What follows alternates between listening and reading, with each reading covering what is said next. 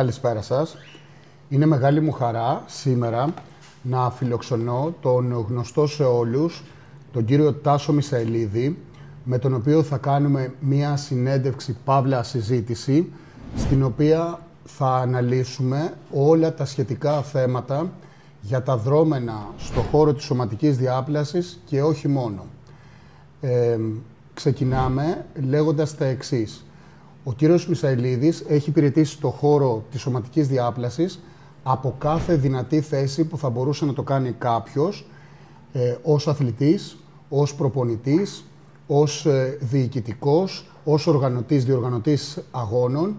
Είναι γνωστός σε όλους για την προσφορά και τη διαχρονικότητα που έχει στο χώρο και σήμερα είναι μαζί μας για να κάνουμε μια συζήτηση εκβαθέων για όλα τα θέματα που θεωρώ ότι απασχολούν όλους τους φίλους της σωματικής διάπλασης. Θέλω και εγώ με τη σειρά μου να πω ότι χαίρομαι πάρα πολύ που βρίσκομαι εδώ στο φίλο και ε, πολλά χρόνια εκτιμητέο αθλητή Μανώλη Καραμαγλάκη. Ε, είναι χαρά μου να συζητάω με τον Μανώλη γιατί ξέρω ότι η άποψή του είναι τελείως καθαρή, ε, τελείως αντικειμενική και πιστεύω ότι ταιριάζουν οι απόψεις μας σε πάρα πολλά πράγματα. Ε, πιστεύω ότι θα δώσουμε πολλές απαντήσεις στη σημερινή μας κουβέντα ε, με τον Μανώλη σε πολλά πράγματα και σε πολλά θέματα που αφορούν τη σωματική διάπλαση, τους αθλητές, το προπονητικό κομμάτι, το κομμάτι των αγώνων, το θέμα επιλογής αγώνων από τους αθλητές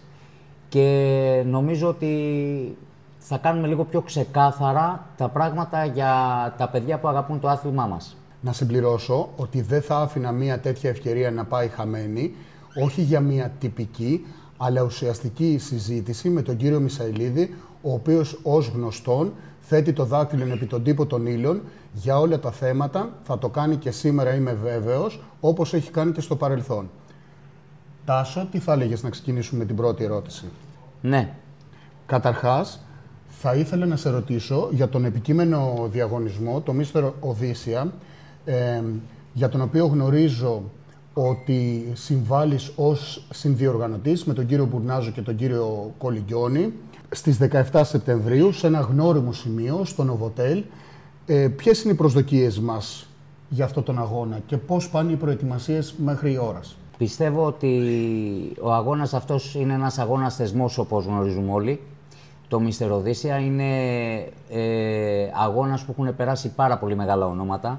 Εμείς με τη σειρά μας με τον κύριο Μπουρνάζο και τον κύριο Κολυγκιόνη ε, θα κάνουμε ό,τι καλύτερο μπορούμε για αυτόν τον αγώνα και στο θέμα στισίματος του αγώνα και στο θέμα διοργάνωσης ε, για να είναι πολύ πιο εύκολα τα πράγματα για τα παιδιά. Θα αρέσει πάρα πολύ στον κόσμο όλο αυτό που θα δούνε γιατί μέχρι στιγμής ακούω πάρα πολύ μεγάλα ονόματα αυτά βέβαια που υπάρχουν τώρα και θεωρώ ότι το θέαμα θα αξίζει πραγματικά να το δει ο κόσμος και από γυναίκες και από βαριές κατηγορίες γενικά θα έχει ένα πολύ καλό αποτέλεσμα ο αγώνας αυτός γιατί το δουλεύουμε πάρα πολύ καιρό στο μυαλό μας, άσχετα με το πότε το ανακοινώσαμε. Όλο αυτό έχει στηθεί με ώρες συζητήσεων με τον κύριο Κολυγκιόνι και τον κύριο Μπουρνάζο και πιστεύω πραγματικά το αποτέλεσμα θα μας δικαιώσει γιατί θα καταλάβουν και τα παιδιά ότι όλο αυτό που θα γίνει προσπαθούμε για κάτι καλύτερο για αυτά τα παιδιά. Γιατί μην ξεχνάμε ότι με το θέμα ε, κορονοϊού, ας πούμε, πήγανε όλα τα πράγματα πίσω, πήγανε όλοι οι αγώνες πίσω. Τα παιδιά διψάνε να κατέβουν σε αγώνα. Οι άλλες εταιρείες, ας πούμε, οι, άλλες, οι άλλες διοργανώσεις που γίνονταν, είναι λογικό να μην μπορεί να συμβεί τώρα να συνεχίσει να υπάρχουν αυτά τα πράγματα. Θα μιλήσουμε στην πορεία και για αυτό το πράγμα. Ε, αλλά το Μίστερ Οδύσσια πιστεύω ότι θα είναι μια αρχή που θα αφήσει εποχή. Επειδή γνωρίζω τον τρόπο με τον οποίο και ο κύριος Μισαηλίδης και οι άλλοι δύο συνδιοργανωτές προσεγγίζουν τα πράγματα, ε, είμαι βέβαιος ότι θα, θα γίνει ένας αγώνας ο οποίος θα είναι απαρχή νέας εποχής για το άθλημα. Θέλω όμως να διευκρινίσουμε πάνω στα εύστοχα ε, πράγματα που έθεσε ο κύριος Μισαηλίδης, τι προσδοκίες έχουμε σε σχέση με τους θεατές. Άρα, Τάσο, σε σχέση με τους θεατές και γνωρίζοντας ότι ο αγώνας αυτός είναι ο πρώτος ουσιαστικά, ουσιαστικά αγώνας που γίνεται στην μετά-COVID εποχή. Τι προσδοκίες έχουμε σε σχέση με, τους, με την προσέλευση των θεατών για αυτόν τον αγώνα; Είμαι βέβαιος ότι από αθλητές όλο το δυναμικό που υπάρχει εν ενεργεία στην Ελλάδα θα παρευρεθεί οπωσδήποτε να διαγωνιστεί σε ένα τέτοιο σημαντικό αγώνα. Για τους θεατές; Λοιπόν, η προσέλευση των θεατών. Η προσέλευση των θεατών πιστεύω ότι θα είναι πάρα πολύ μεγάλη γιατί ε, εκτός τα περίπτερα που θα παρευρεθούν στο χώρο, όπως ήταν και τα υπόλοιπα χρόνια, ξέρω εγώ, τα προηγούμενα χρόνια στο συγκεκριμένο ξενοδοχείο, η προσέλευση θεατών πιστεύω ότι ε, θα είναι μεγάλη γιατί. Γιατί μόλις ανακοινωθούν τα ονόματα που εγώ ήδη γνωρίζω κάποια και είναι λογικό να τα γνωρίζω, μόλις ανακοινωθούν τα ονόματα που θα παίξουν στον αγώνα αυτόν, ε, νομίζω ότι θα έχει ο κόσμος τόση κάψα να δει αυτές τις μάχες που θα γίνουν, που πραγματικά δηλαδή θα ανυπομονούν να έρθει η μέρα του αγώνα να δούνε αυτούς τους αθλητές τον έναν αντιμέτωπο στον άλλον πάνω στη σκηνή. Τάσο, είναι επί της ουσίας ο πρώτος διαγωνισμός που θα έχει κατηγορίες bodybuilding. Πώς αυτό βαρύνει στα πράγματα και στους αθλητές και το ενδιαφέρον που δείχνουν για τον αγώνα και στους θεατές θα επιμείνω, γιατί όντως οι θεατές και εγώ ως λάτρες του αθλήματος περιμένω χρόνια να δω κατηγορίες bodybuilding επισκηνής. Πώς τοποθετήσει πάνω σε αυτό, πόσο θα επηρεάσει ότι επί της ουσίας ο αγώνας που διοργανώνεται είναι ο πρώτος στον οποίο θα έχουμε την ευκαιρία να δούμε μάχες σε κατηγορίες bodybuilding και δεις στις βαριές. Είναι λογικό αυτό, Μανώλη, που με ρωτάς. Ωραία ερώτηση. Ε, πραγματικά όμως, δηλαδή, επειδή ξέρω τα παιδιά που ετοιμάζονται, ε, πραγματικά οι κατηγορίες bodybuilding, οι βαριές κατηγορίες bodybuilding, νομίζω ότι θα, είναι, θα θυμίσουν εποχές παλιές. Θα θυμίσουν εποχές δικές σου, Βασίλη Γρίβα. Θα θυμίσουν τέτοιες εποχές γιατί ο κόσμος πραγματικά του έχει λείψει η έγκλη του αγώνα και πραγματικά δηλαδή είναι και ο χώρος που διαλέξαμε, γιατί το συζητήσαμε πάρα πολύ με τον Σπύρο τον Μπουρνάζο και με τον Τάσο τον Κολυγκιόνη και είπαμε ότι να διαλέξουμε τον Νοβοτέλ ε, σαν μέρος του θεσμού ε, του αγώνα του Μίστερ Οδύσσια. Γιατί; Γιατί ήδη ξέραμε ποια παιδιά ετοιμάζονται. Σαφώς δεν ξέρουμε Μπορεί κάποιοι αθλητές να μην καταφέρουν να τερματίσουν για τον αλφαβήτα λόγο. Αλλά όταν έχεις βαριά ονόματα που έχουν να κατεβούν καιρό και ξέρεις ότι ετοιμάζονται για το συγκεκριμένο αγώνα, πρώτα απ' όλα μας θυμάει που αυτά τα παιδιά έχουν αποφασίσει να παρευρεθούν στον αγώνα μας, ε, γιατί από τους αθλητές είναι ο αγώνας και όλο, όλο εμείς, όλα αυτά τα χρόνια, γι' αυτό παλεύουμε ότι πρέπει να καταλάβουν ότι οι αθλητές είναι ο αγώνας. Εμείς απλά διοργανώνουμε να γίνει μια γιορτή που οι αθλητές να περάσουν καλά, να γλεντήσουν τον αγώνα, να αγωνιστούν και από εκεί και πέρα να διαλέξουμε και κάποιους αγώνες, να παίξουν τα παιδιά σε κάποιους πιο μεγάλους αγώνες έξω, αλλά ε, όλο αυτό θα το δει ο κόσμος σαν γιορτή του bodybuilding όπως αξίζει στο Μίστερ Οδύσσια και όπως σας είπα είναι τόσο βαριά δηλαδή τα ονόματα που όταν ακούσει ο κόσμος το ποιοι θα κατέβουν θα ανυπομονούν για τη μέρα του αγώνα. Τάσο, υπήρχε μια ισοστρέφεια και απεσιοδοξία το τελευταίο διάστημα σχετικά με το μέλλον των κατηγοριών του bodybuilding. Τι πιστεύεις, θα ξαναδούμε παλμό επισκηνής, υπάρχει μέλλον. Αναφέρομαι συγκεκριμένα στις βαριές κατηγορίες σε αυτές με τις οποίες γαλουχηθήκαμε όλοι, έχουμε παρακολουθήσει, έχουμε θαυμάσει αθλητές. Στο συγκεκριμένο, υπάρχει μέλλον. Πώς βλέπεις τα πράγματα; Μανώλη μου, πιστεύω ότι πολλά παιδιά στην Ελλάδα έχουν μέλλον.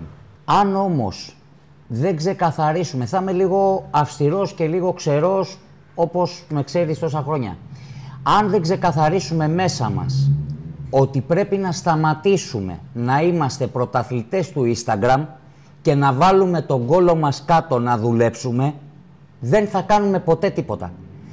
Το μόνο που θα κάνουμε θα είναι να ψάχνουμε προπονητές απ' έξω, το αν μας κάνει ο κάθε προπονητής απ' έξω, το αν δεν μας κάνει ο κάθε προπονητής απ' έξω, να ψάχνουμε δικαιολογίες από να κάνουμε όλα τα άλλα εκτός από το να κάτσουμε να βάλουμε τον κόλο μας να δουλέψουμε.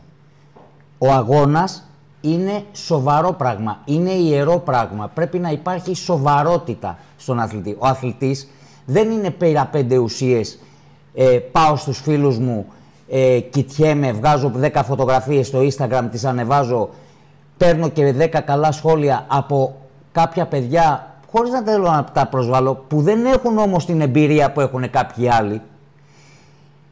Εάν λοιπόν δεν βάλουμε το μυαλό μας κάτω να πούνε ότι ξέρεις κάτι, πρέπει να δουλέψω, να αφοσιωθώ, να ξεχάσω το Instagram, να ξεχάσω το τηλεφωνάκι μου την ώρα που κάνω προπόνηση και να κάτσω να δουλέψω, να είμαι αυστηρός με το φαγητό μου, να είμαι αυστηρός με, ε, γενικά με τον τρόπο ζωής, δεν θα ξαναδούμε αυτά που βλέπαμε παλιά. Γιατί, Γιατί θα σου θυμίσω ότι, δεν θέλω, χωρίς να θέλω να σε πενέψω. Θα σου θυμίσω ότι στην κατάσταση που είχες εσύ το 99 όταν σε πρωτοείδα, όταν σε πρωτοείδα εγώ αγόρι μου είπα αυτό το παιδί θα φτάσει ψηλά. Ξέρεις γιατί; Γιατί τη φόρμα σου το 99 τη βγάζανε παιδιά που κάνανε πάρα πολλά χρόνια γυμναστική. Αυτό ξέρεις τι είδα εγώ εκείνη την ώρα; Ότι έχω μπροστά μου ένα παιδί που έχει δουλέψει. Όπως είδα εσένα, όπως είδα το Γιάννη το Μάγκο, που Α πούμε και το Γιάννη το Μάγκο το 2004,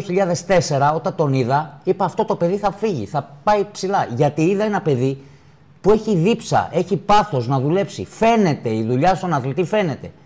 Δεν γίνεται ο άλλος να είναι σαν ζαμπονοτυρόπιτα και ξαφνικά να θέλει στους δύο μήνες να γραμμώσει. Δεν θα γραμμώσεις ποτέ. Δεν θα καθαρίσει ποτέ το σώμα σου, δεν θα ε, βγεις ποτέ έτσι όπως πρέπει. Και πάντα θα ψάχνεις να βρεις, να ρίξεις βάρος στον προπονητή σου, βάρος πάντα κάποιος άλλος θα φταίει εκτός από σένα. Αυτά λοιπόν, εάν τα πάμε στην άκρη, βάλουμε το κεφάλι μας κάτω και δουλέψουμε σοβαρά, τότε οι Έλληνες αθλητές θα φτάσουν εκεί που πρέπει να φτάσουν. Όπως πήρες εσύ επαγγελματική κάρτα, όπως πήρε ο, ο, ο Μιχάλης ε, επαγγελματική κάρτα. Πρώτα απ' όλα θα σου πω κάτι. Όταν σε μια κουβέντα πεις ότι ξέρεις κάτι, ο Μανώλης έχει επαγγελματική κάρτα. Ο Μιχάλης έχει επαγγελματική κάρτα. Δεν χρειάζεται να πεις επίθετο. Είναι πολύ σημαντικό να καταλαβαίνει κατευθείαν ο άλλος. Ξέρεις γιατί, γιατί έχετε αφήσει το στίγμα σας. Έχετε αφήσει αυτό που πρέπει. Δηλαδή, ο, ο μάγκος έχει αφήσει κάτι που δεν πρόκειται να ξαναβγεί. Αυτή η αγριάδα που έχει βγάλει το σώμα του δεν πρόκειται να ξαναβγεί. Είναι παιδιά λοιπόν που εγώ έχω μεγάλο respect στην Ελλάδα και είναι και παιδιά που ε, έχουν μάθει να ακούνε. Αν δεν μάθεις να ακούς, δεν θα πας ποτέ μπροστά. Ο Μιχάλης δεν είχε προπονητή απ' έξω, έφτασε Ολύμπια. Εσύ δεν είχες προπονητή απ' έξω. Το ότι παλιά όταν κάναμε και οι δύο μας σεμινάρια με τον Ντόριαν και τέτοια αυτό ήταν λόγω του Παναγιώτη του Κατσέλου που μας βοήθησε με την εταιρεία που δουλεύαμε, που είχαμε κάποιες παραπάνω, ε, ας πούμε, ε, αν θέλεις, ε, τύπου δωρεές από τον Παναγιώτη που μας βοήθησε σε αυτό το πράγμα επειδή ανήκαμε στην εταιρεία. Ναι, πήραμε πράγματα. Πήραμε πράγματα. Αν όμως εμείς δεν ακούγαμε και δεν είχαμε μάθει να ακούμε το φίλο μας ή το, τον άνθρωπο που είχαμε εμείς εμπιστοσύνη να ακούμε, ότι ξέρεις κάτι, Μανώλη, δεν είσαι καλά, θέλεις κι άλλο. Τάσο, δεν είσαι καλά, θέλεις κι άλλο. Όχι να πούμε, να ακούσουμε, ξέρεις κάτι, δεν είσαι καλά, θέλεις κι άλλο και να πούμε τι λέει ο μαλάκας. Για να μας το λέει, σημαίνει ότι θέλουμε κι άλλο. Κάτσε κάτω και δούλεψε. Έτσι ακριβώς. Αυτό πρέπει να γίνει. Είναι πάρα πολύ απλά τα πράγματα. Πρέπει να δουλέψεις. Δεν γίνεται διαφορετικά. Τίποτα δεν αποκτάς χωρίς κόπο. Σε συνέχεια λοιπόν αυτών που ακούστηκαν. Να ρωτήσω τον ε, Τάσο, θα ήθελε Τάσο να αναφέρεις κάποια ονόματα Ελλήνων αθλητών που πιστεύεις θα μας απασχολήσουν στο προσεχές μέλλον, ας πούμε, σε προοπτική πενταετίας; Ναι, πιστεύω, πιστεύω σε κάποια παιδιά. Αυτό που το παιδί που βλέπω ε, και δουλεύει και το πάει σωστά σε όλο το κομμάτι, σε όλο το κομμάτι, γιατί για μένα αθλητής δεν είναι ένας αθλητής που γενετικά απλά είναι καλά και μπορεί να έχει και ένα προβάδισμα από κάποιο άλλο παιδί. Εγώ θέλω να πιάσω όλο το κομμάτι του αθλητή. Του αθλητή παύλα ανθρώπου. Εκτιμώ αρκετά παιδιά. Ένα από τα παιδιά που ξεχωρίζω, επειδή ε, είχαμε δουλέψει και μαζί και τον εκτιμώ και πάρα πολύ ας πούμε σαν παιδί, είναι ο Παντελής ο Σταυρουλάκης από την Κρήτη, που πραγματικά το παιδί δουλεύει, πραγματικά ε, βάζει το κεφάλι του κάτω, δουλεύει, κοιτάει τη δουλειά του, κοιτάει την οικογένειά του, κοιτάει, είναι σοβαρό παιδί και πιστεύω σε αυτόν ότι θα κάνει πράγματα. Αργά ή γρήγορα δηλαδή πιστεύω ότι μακάρι να φτάσει στο σημείο που έχει φτάσει και ο Μιχάλης, ξέρω εγώ, ή εσύ, να φτάσει να παίζει ας πούμε με πρωτοκλασσά τα ονόματα. Θα χαρώ πάρα πολύ να το δω αυτό το παιδί, γιατί σου λέω και πάλι Μανώλη μου το ξέρω από μωρό. Πιστεύω στον, στον Αλέξη το Μωυσίδη, που πιστεύω ότι το παιδί είναι πρικισμένο. Έχουμε δουλέψει αρκετές φορές. Αυτή τη φορά συγκεκριμένα είμαστε ξανά μαζί εδώ και αρκετό καιρό. Ξανακάνουμε κάποια πράγματα, κάνει την προετοιμασία του το παιδί. Πιστεύω ότι το μυαλό του έχει αλλάξει πάρα πολύ στο θέμα σοβαρότητας δουλειάς, στο θέμα ε, προπόνησης, αν θέλεις. Και αυτό το πάει πολύ καλά μέχρι τώρα και πιστεύω δηλαδή και σε αυτό να είναι. Πιστεύω στο Λευτέρη το Σιδηρόπουλο. Είναι ένα παιδί χαμηλών τόνων. Εκτιμάω πάρα πολύ ότι δεν έχει πει ποτέ κακή κουβέντα για κανέναν αθλητή. Δεν έχει μιλήσει ποτέ κακά για κανέναν αθλητή. Εντάξει, όπως όλοι ξέρουμε ότι και ο Λευτέρης είναι ένα παιδί που γενετικά είναι πάρα πολύ καλά τον βοηθάει και η φύση του και αυτά. Και αυτός πιστεύω ότι μπορεί να πάει πάρα πολύ καλά. Ε, αυτό το παιδί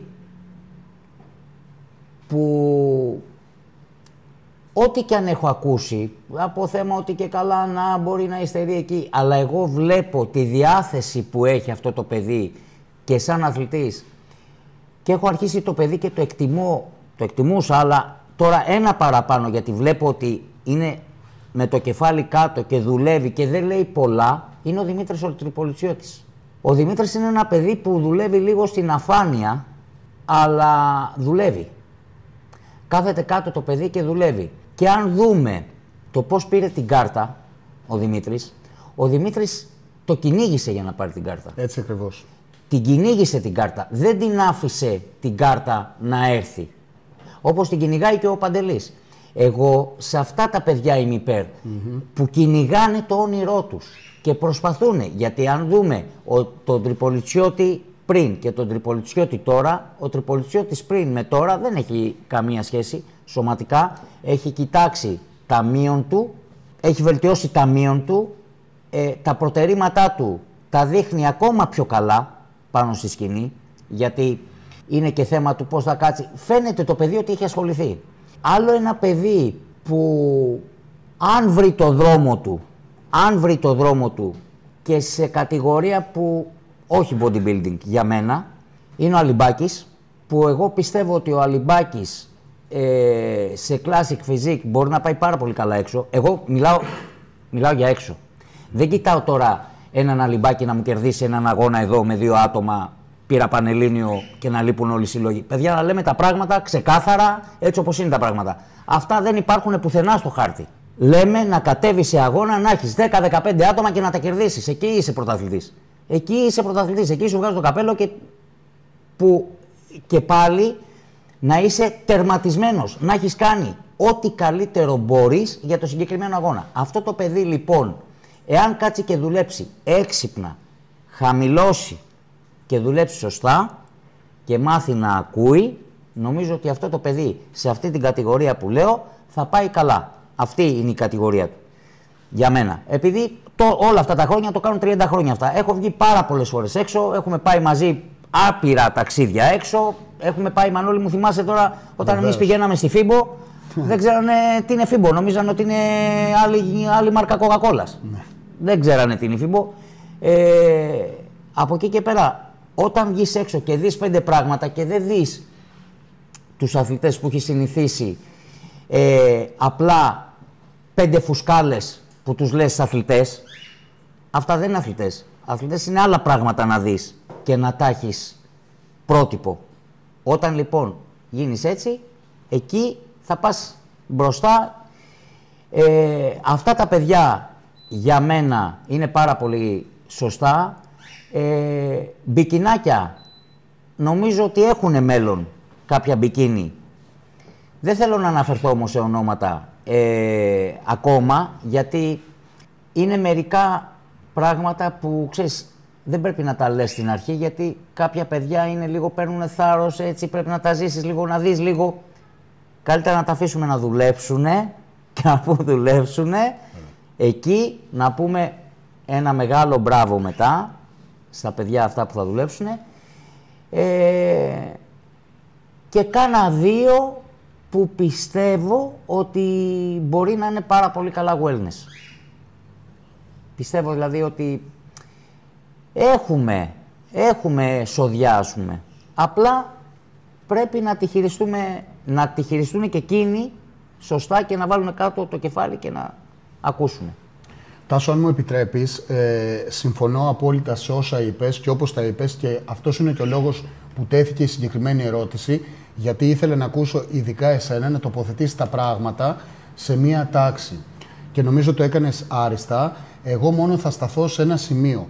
Ε, το πρώτο όνομα, ο πρώτος αθλητής που ανάφερες, ο Παντελής ο Σταυρουλάκης, χαίρει και της δικής μου εκτίμησης, απεριόριστης και για τον τρόπο που δουλεύει, κυρίως όμως για το γεγονός ότι κάνει μία πορεία η οποία είναι αξιόλογη και το κάνει αυτό όντας οικογενειάρχης. Αυτό για μένα είναι πάρα πολύ σημαντικό ε, θέμα.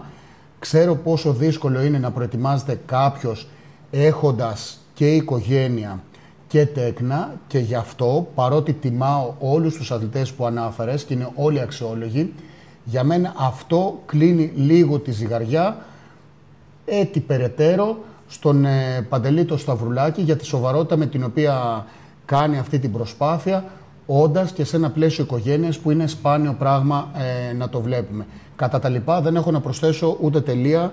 Νομίζω. Ε, σε διακόπτω, Μανώλη μου, θέλω να προσθέσω και κάτι που ξέρω ότι τώρα δεν θα της αρέσει αυτό, γιατί είναι χαμηλών τόνων. Θέλω όμως να το προσθέσω αυτό. Είναι στην παρέα μας αυτό το παιδί, που της βγάζω το καπέλο σαν αθλητρία, γιατί όταν δουλέψαμε με την ώρα την κόλια, πήγε 7 μήνες στα κόκκινα. Ε, με προσωπικά πολύ σοβαρά προβλήματα, που δεν θέλω να αναφερθώ, αλλά προβλήματα όσο δεν πάει, και αυτό το παιδί πήγαινε στα κόκκινα 7 μήνες. Αυτό το παιδί το τσαλάκωσα, δεν έβγαλε κιχ και γι' αυτό πήρε και την κάρτα που πήρε. Εγώ είναι άλλο ένα παιδί που υπολογίζω, απλά δεν ήθελα να αναφερθώ στην αρχή επειδή ξέρω ότι δεν της πολύ αρέσει να μιλάνε για εκείνη, αλλά αισθάνομαι ότι πρέπει να το κάνω. Ε, νομίζω ορθά και αν μου επιτρέπεις, ε, εγώ την ώρα τη λέω Mighty Mouse, οι δυνατότητες που έχει είναι απεριόριστες, ο τρόπος που δουλεύει είναι αξιοθαύμαστος, νομίζω τα πάντα είναι στο χέρι της και ασφαλώς έχοντας τη δική σου καθοδήγηση νιώθω βεβαιότητα ότι τα επόμενα βήματα και εμφανίσεις θα είναι αυτές που τιμούν εσένα και την ίδια και όπως πρέπει. Σας εύχομαι καλή επιτυχία. Είναι ένας καλά, άνθρωπος που εκτιμώ ε, αθλητικά και προσωπικά και νομίζω ότι έχει πολλά ακόμα να δώσει στο άθλημα και χαίρομαι που έγινε και αυτή η αναφορά. Τώρα θα ήθελα πάνω σε αυτά, γιατί νομίζω κολλάει, να πω το εξής. Λέγαμε παλιά train hard or go home ε, ή train and sleep, σκληροπυρηνικές εκφράσεις στο bodybuilding. Διατηρούν την απήχηση και την ισχύ, την, ισχύ, την επιρροή τους όπως τις προηγούμενες δεκαετίες. Έχει αλλάξει κάτι, Τάσο. Και αν ναι, πώς επιδρά, πώς τοποθετήσει πάνω σε αυτό; Μανώλη μου, αυτό όλο συνδέεται και με το προηγούμενο που μακάρι να, να ήταν έτσι τα πράγματα. Σήμερα τα παιδιά, χωρίς να φταίνε βέβαια, έχουν γίνει λίγο φυγόπονα. Και έχουν γίνει φυγόπονα, ξέρεις γιατί. Γιατί βγήκανε πέντε ξυπνάκιδες φυγόπονοι που πήγανε να τους δείξουν έναν δρόμο Άλλο, πολύ πιο εύκολο και ότι όλοι οι υπόλοιποι ήταν κορόιδα και απλά είχαν αμάθεια και κάνανε κάποια πράγματα από αμάθεια και ότι κοίτα είναι πιο εύκολα τα πράγματα τελικά.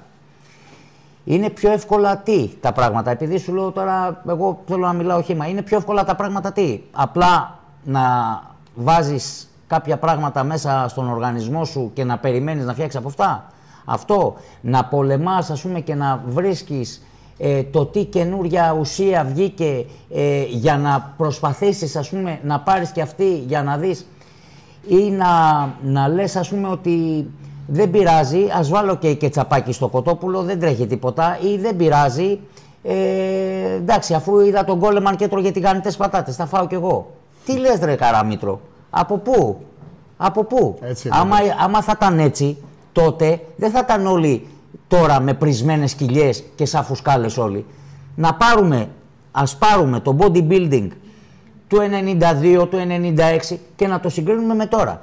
Και να δούμε τις κοιλιές τώρα των παιδιών που κατεβαίνουν στο Ολύμπια που είναι σαν μπετόνια γιατί μην πούμε ότι τώρα ήταν πιο βαριά τα παιδιά γιατί και ο Ντόριαν αν θυμάσαι στα 126 κιλά που κατέβαινε δεν νομίζω να έχει τέτοια κοιλιά, τέτοιο στομάχι, ούτε να μην έβγαζε αγριάδα το σώμα του. Αυτό λοιπόν όλο είναι αποτέλεσμα αυτό του φυγόπονου. Θέλεις την προπόνηση, θέλεις... Ε, δηλαδή είναι σαν, σαν ας πούμε τα παιδιά με το ζόρι να πολεμάνε, να κάνουν κάτι πιο εύκολο. Σε λίγο θα περιμένουν να κάνουν προπόνηση με αυτοσυγκέντρωση. δηλαδή δεν μπορώ να το καταλάβω ας πούμε, αυτό το πράγμα μεγάλε μου, πρέπει να πεινάσεις. Πρέπει να φας καθαρά. Πρέπει να κάνεις προπόνηση. Πρέπει να κάνεις αερόβιο. Τόνισε το σε παρακαλώ αυτό, Τάσο, αν μου επιτρέπεις. Γιατί τώρα όντως έτσι γίνεται. Βλέπουμε μία τάση τα πράγματα να γίνονται πιο εύκολα και πιο εύκολα και πιο εύκολα. Και αυτό οι αθλητές να το επιζητούν, γιατί όπως είπες κάποιοι τους το προτείνουν. Ναι. Κανονικά θεωρώ ότι δεν θα έπρεπε οι αθλητές να το επιλέγουν. Μία γοητεία, ένα γοητευτικό στοιχείο που έχει το bodybuilding είναι ότι είναι μία σκληρή, την έχεις περάσει, την έχω περάσει, επίπονη, ε, επώδυνη ενδεχομένως διαδικασία.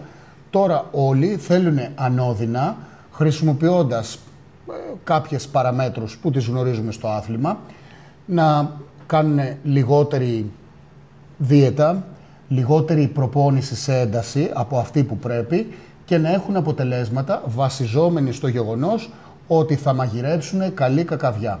Νομίζω ότι τα έθεσε τα πράγματα πάρα πολύ σωστά, έτσι είναι και καλό είναι όσοι μας ακούνε και είναι νέοι και έχουν ελπίδες και επιθυμίες για αγώνες να γνωρίζουν, καταρχάς να ακούσουν αυτά που είπε ο κύριος Μισαηλίδης και να γνωρίζουν ότι τίποτα δεν παρακάμπτει τη σκληρή δουλειά που απαιτείται για να εμφανιστεί στη σκηνή όπως πρέπει και χρειάζεται ε, σε ένα άθλημα στο οποίο έχουμε δει ε, κορυφαία πράγματα κατά το παρελθόν. Όντως, η δεκαετία των 90 συμφωνώ και εγώ, ε, είναι μέχρι τώρα αξεπέραστη. Έχουμε φτάσει σε σημείο ε, που γελάω εγώ με αυτό. Δηλαδή, λέω, αν είναι δυνατόν. Το έχω πει και σε άλλη συνέντευξή μου ότι παλιά βλέπαμε κάποιον να πάνω από 40 και λέγαμε μπράβο του, έπιασε φόρμα, είδε, στέκεται. Γιατί δεν μπορούσαμε να το συγκρίνουμε με κάποιον 25-35, γιατί τα παιδιά τότε ήταν μπιστόλια. Τώρα τα νέα παιδιά παρακαλάνε να μην κατέβει ε, να μην κατέβει, δηλαδή να, να μην κατέβουν ε, μάστερ για να μην χάσουν. Ναι. Αν είναι ποτέ δυνατόν, να σκέφτεσαι, να πηγαίνεις να αλλάζεις ομοσπονδία, να κατε... να... ομοσπονδία μία είναι, θα φτάσουμε και εκεί, ε, να, να, να κατεβαίνεις, να διαλέγεις κάποιο άλλο ε, διαγωνισμό, να κατέβεις για να μην πέσεις πάνω σε μάστερ και χάσεις.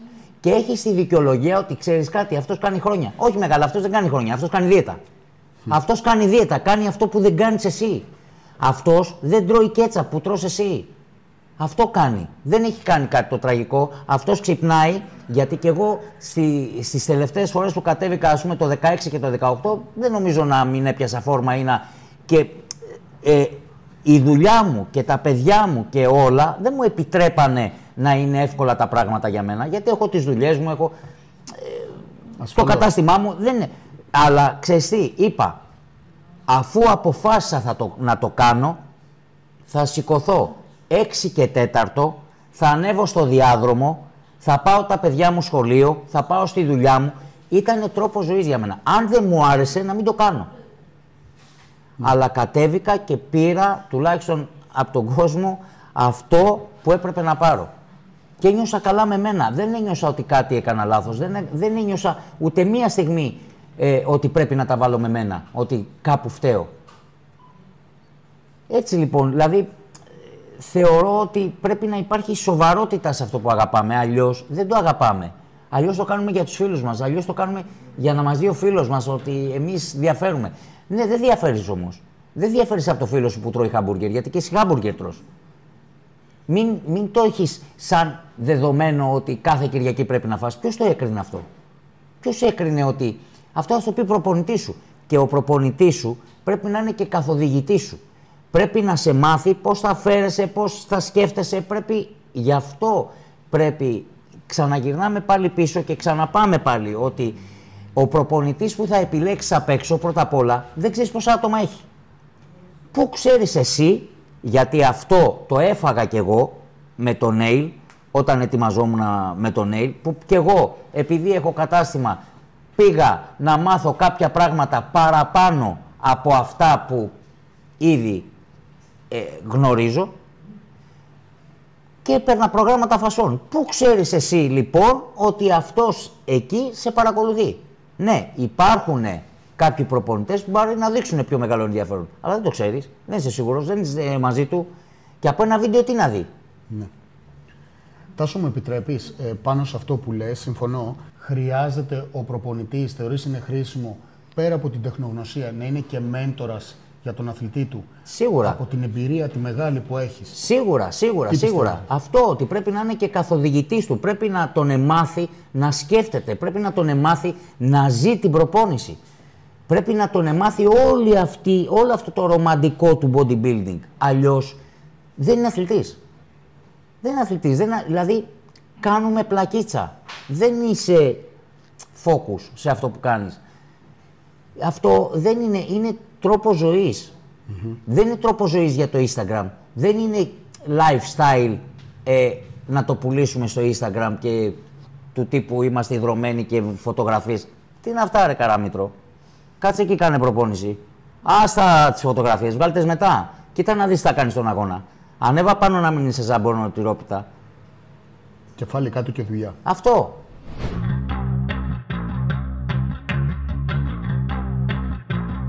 Ο Τάσος δεν ευλόγησε τα γένια του. Ούτε έκλεισε την πόρτα σε κανέναν. Μακάρι να γινόταν ένας αγώνας στην Ελλάδα για να υπάρχει ένας πρωταθλητής και όχι πέντε. Θα κρυβόμαστε πίσω από το δάχτυλο. Είχα δόλο δηλαδή και εγώ τότε τι δόλο είχα. Αν θα φάω καλό χάμπουργκερ στη Ρωσία; Γιατί το μόνο που κερδίζουν είναι να πηγαίνουν, να βάφονται, να κατεβαίνουν και να φεύγουν. Τίποτα άλλο. Είναι ποτέ δυνατόν να μην έχεις κερδίσει Έλληνα. Έλληνα. Δεν έχεις κερδίσει Έλληνα και ξαφνικά να θες να, να βγαίνεις έξω να παίζεις που για μένα προπονητής πρέπει να έχεις χαρτί, να έχεις βγάλει μια σχολή, έστω και ιδιωτική, γιατί αλλιώς θα πάω και εγώ στο Μετροπόλιτα να κάνω τον καρδιολόγο. Πώς γίνεται δηλαδή να μου το παίζεις πρωταθλητής και να βγάζει φωτογραφία μόνος; Τώρα φτάσαμε, ας πούμε, να θαυμάζουμε το μέτριο. Τάσο, έχουμε μια νέα πραγματικότητα, νέα τάξη πραγμάτων θα έλεγα. Νέα ομοσπονδία, την Post, καινούργιοι άνθρωποι.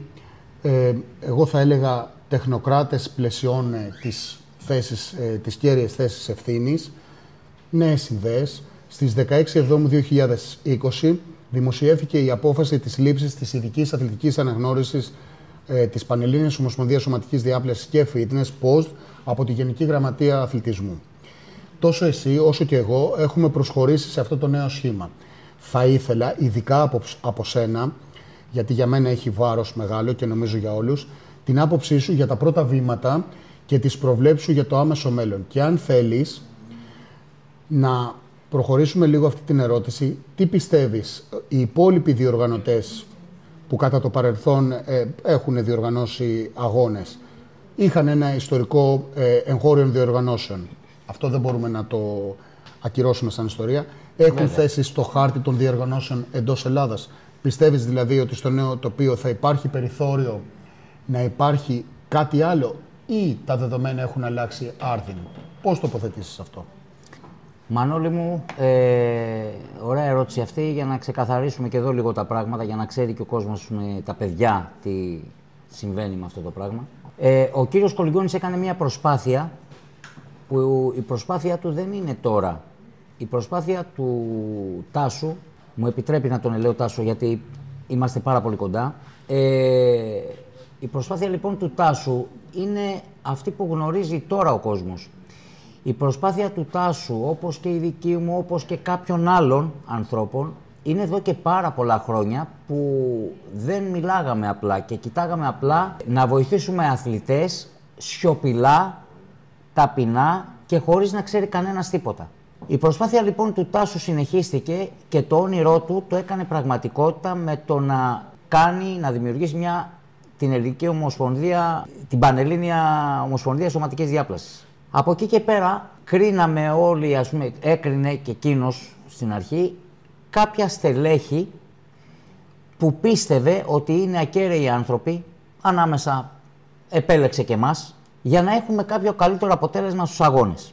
Ο Τάσος δεν ευλόγησε τα γένια του, ούτε έκλεισε την πόρτα σε κανέναν. Γιατί ξέρω πολύ καλά περιπτώσεις που τις διαχειρίστηκα εγώ ο ίδιος και δεν μπορεί κανένας να πει τίποτα σε αυτό, που πήγα, έπιασα άτομα από ε, άλλες διοργανώσεις που κάνανε και τους είπα, ξέρετε κάτι, ελάτε μαζί μας, αφού το αγαπάτε όπως λέτε, ελάτε μαζί μας να κάνουμε όλοι μας μαζί κάτι καλό.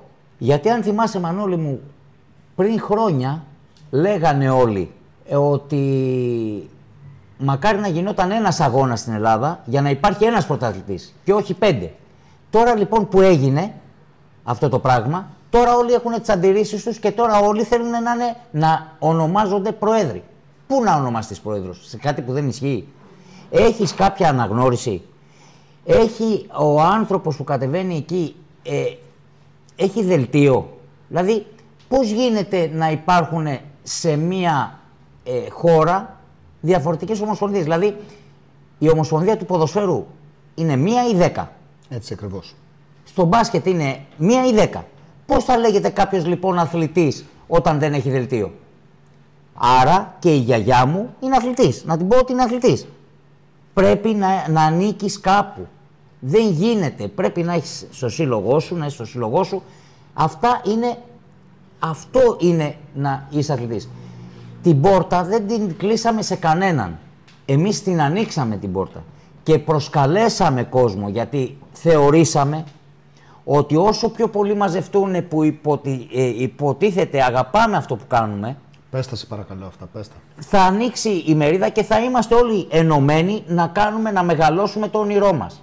Όταν όμως πάει η υπεροψία και πάει και το εγώ πάνω από αυτό που έλεγες, ξαφνικά αποδεικνύεις ότι μεγάλε, δεν το αγάπαγες. Οικονομικό ήταν το θέμα.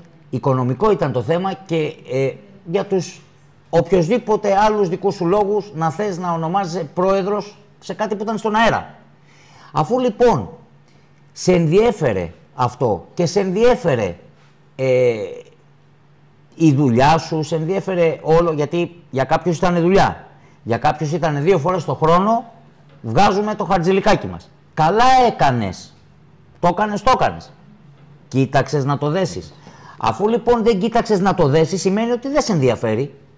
Αφού δεν σε ενδιαφέρει, γιατί ζητάς ευθύνες; Και όχι μόνος ζητάς ευθύνες, εμείς σε αγκαλιάσαμε. Σου είπαμε ότι ξέρεις κάτι; Ναι, κάνε αγώνα. Δεν λέμε να μην κάνεις αγώνα. Όλοι θέλουμε να κάνετε αγώνα, όλοι. Κάντε αγώνες. Αγώνες θέλουμε να γίνονται στην Ελλάδα. Αλλά υπό την αιγίδα της αναγνωρισμένης Ομοσπονδίας. Πώς γίνεται να κάνεις αγώνα, Δηλαδή, είναι αγώνας, ας πούμε αυτό. Μετά, κάποιοι πήγανε να βρούνε ε, τη, την τρίπλα, ας πούμε, την πίσω πόρτα ότι δεν είναι διαγωνισμός, είναι καλυστία. Καλυστία με παραγγέλματα δεν νομίζω να υπάρχει. Καλυστία, ας πούμε, με, να λες τον άλλο να δώσετε μου διπλή δικεφάλαιο δεν είναι καλυστία αυτά. Καλυστία θα ανεβάσεις τον άλλο με μαγιό, θα του πεις ότι ξέρεις κάτι. Θα ανέβεις πάνω, θα περπατήσεις, θα κοιτάξεις τους κριτές και θα ξαναφύγεις. Και όποιος λοιπόν δεχτεί να κατέβει σε σένα, εκεί ναι, θα σου βγάλω το καπέλο. Από εκεί και πέρα λέω και πάλι ότι δεν κλείσαμε σε κανέναν την πόρτα. Όλους τους αγκαλιάσαμε και εγώ προσωπικά ήρθα σε επαφή μαζί τους, με κάποιους και τους είπα ότι ξέρετε κάτι, ελάτε, γιατί το κάνετε αυτό; Θα έχεις θέση σε μας. Θα, θα, θα έχεις αυτή τη θέση, σε θέλουμε μαζί μας. Τάσο, ε, δεν θέλω να διακόψω τον ήρμό σου, ε, όμως ε, αυτά που είπες ε, αγγίζουν τον πυρήνα των πραγμάτων. Ε, θέλω και εγώ να τοποθετηθώ στο συγκεκριμένο ζήτημα ως εξής. σε κάθε άλλο άθλημα υπάρχει ένας φορέας υλοποίησης και ανάπτυξης του αθλήματος. Το παράδοξο που υπήρξε χρόνια στην Ελλάδα και το τόνισες νομίζω ε, με σαφήνεια είναι ότι υπήρχαν διάφοροι ε, αναχρονιά οι οποίοι δήλωναν πανελλήνιοι πρωταθλητές. Αυτό είναι μια αντίφαση, είναι ένα παράδοξο στην ελληνική σωματική διάπλαση. Δεν συμβαίνει σε κανένα άλλο άθλημα, στον κλασικό αθλητισμό, ε, σε άλλα αθλήματα. Υπάρχει πάντα ένας φορέας ο οποίος είναι υπεύθυνος για την ανάπτυξη ε, ενός αθλήματος και με τον τρόπο αυτό νομίζω ότι ένα άθλημα, οποιοδήποτε άθλημα, πόσο μάλλον η σωματική ε, διάπλαση, μπορεί να αναπτυχθεί όταν όλοι βρίσκονται κάτω από την ίδια στέγη, ενώνουν τις δυνάμεις τους. Είπες και πολύ καλά έκανες ότι η πόρτα ήταν και είναι ανοιχτή, όμως όταν το ελληνικό φαινόμενο όλοι να θέλουν να είναι πρόεδροι υπερισχύει, τότε δεν είναι αγάπη για το άθλημα, είναι κάτι άλλο το άθλημα σε σχέση με αυτή την ε, αγάπη έχει κατσιάσει. Οπότε κύριοι, να προσθέσω κι εγώ πάνω σε αυτά που είπε ο κύριος Μισαηλίδης, μην αγαπάτε τόσο πολύ αν θέλετε το άθλημα, γιατί με αυτόν τον τρόπο το κατσιάζετε, το μικραίνετε. Υπάρχει φορέας ανάπτυξης του αθλήματος, όσοι λοιπόν είναι επίσημος φορές, είναι αναγνωρισμένος, εγώ θεωρώ ότι είναι και η ηθική μας υποχρέωση, αφού υπάρχει και είναι μια αντικειμενική πραγματικότητα η αναγνώριση της Γενικής Γραμματείας, να συστρατευτούν όσοι ισχυρίζονται ότι αγαπάνε το άθλημα, να στηρίξουν την προσπάθεια. Αυτό, όπως καταλαβαίνουν όλοι, δεν ήταν κάτι εύκολο να γίνει, ήταν αντίθετα κάτι δύσκολο. Ήταν επίσης και μια σταθερή επιδίωξη όλου του χώρου της σωματικής διάπλασης να επισημοποιηθεί και το άθλημα να πάρει τη θέση που πιστεύουμε ότι το, το αξίζει. Άρα λοιπόν, ε, ας πάψουν θα έλεγα εγώ αυτοί οι εγωισμοί και η ανάγκη και η τάση να είναι κάποιος πρόεδρος για τους λόγους που ε, ανέλησες ε, Τάσο και έστω και όψιμα τώρα να ενωθούν όλοι κάτω από αυτή την σοβαρή προσπάθεια που γίνεται, μπορώ να το βεβαίωσω αυτό, και να κάνουμε το άθλημα μεγαλύτερο, ευρύτερο, δυνατότερο, αξιότερο, να πάρει τη θέση που του αξίζει. Ένας λόγος ε, που επιδίωξα αυτή τη συνάντηση είναι για να ακουστούν ακριβώς αυτά τα πράγματα και επειδή γνωρίζω ότι ο Τάσος δεν μασάει τα λόγια του, ε, γνωρίζει, μιλάει από θέση γνώσης και αυτά που λέει είναι έγκυρα και ακριβή. Έτσι είναι η κατάσταση. Επαναλαμβάνω ότι είναι ηθική υποχρέωση όπως ο Τάσος, άλλοι άνθρωποι, όσοι θεωρούν ότι έχουν κάποιο ειδικό βάρος, να συμβάλλουν, να συνδράμουν στην προσπάθεια αυτή και όχι να λειτουργήσουν διαλυτικά ως προς το άθλημα. Αυτό το έργο το έχουμε δει, το έχουμε ξαναδεί, δεν οδηγεί πουθενά, οδηγεί σε ένα, τέλνα, σε ένα τέλμα, συγγνώμη, ε, και νομίζω ότι είναι τώρα η ευκαιρία μας να δούμε το άθλημα, όπως είπε και ο Τάσος, όπως το έχουμε ονειρευτεί. Και τώρα θα ήθελα να προχωρήσουμε στην ε, επόμενη ερώτηση που θέλω να θέσω στον ε, Τάσο. Ε, έχεις εμπειρία δεκαετιών από κάθε δυνατή θέση στο άθλημα. Με την εμπειρία σου λοιπόν, με τη βιωματική σου εμπειρία. Υπάρχουν δύο ε, αντίθετες, εκ διαμέτρου αντίθετες ε, πεπιθήσεις. Άρα η πρώτη είναι, θα πρέπει να είναι μία ομοσπονδία και μόνο ή η άλλη άποψη Μια άλλη μερίδα ατόμων λένε ότι πρέπει να υπάρχουν ιδιωτικές διοργανώσεις, shows, αυτό που είπες, ε, καλυστία, events. Α βάλει ο καθένας τον τίτλο που θέλει, με τη λογική ότι πρέπει να υπάρχουν επιλογές και ποικιλία. Παρότι θεωρώ ότι απάντησε επαρκώ, θέλω εξειδικευμένα να μας πεις, να πεις σε όλους, ανάμεσα στις δύο αυτές διαμετρικά αντίθετες πεπιθήσεις. Μία ομοσπονδία, ένας φορέας ανάπτυξης του αθλήματος ή ποικιλία επιλογών στις διοργανώσεις. Μανώλη μου και αυτή πάρα πολύ ωραία, πολύ ωραία η ερώτηση. Κοίτα να δεις τι γίνεται. Εγώ είμαι υπέρ στη μία ομοσπονδία στον ένα φορέα. Άκου όμως τι μπορεί να γίνει. Και λέμε ε, το κολλάμε με το προηγούμενο, το ότι όταν έχουμε τη διάθεση να κάνουμε πράγματα και να το πάμε αυτό μπροστά, μπορούμε να κάνουμε παπάδες. Λοιπόν, το να είναι μια ομοσπονδία στην Ελλάδα, αναγνωρισμένη όπως είναι, να μας πει κάποιος ένα λόγο που απαγορεύεται να κάνει ο Μανώλης ή ο Τάσος event παίρνει την άδεια από την Ομοσπονδία, αφού αγαπάει αυτό που κάνει, γιατί να μην λέμε λόγια στον αέρα, γιατί εγώ μιλάω, έχω μάθει να μιλάω πολύ ξεκάθαρα και μέργα.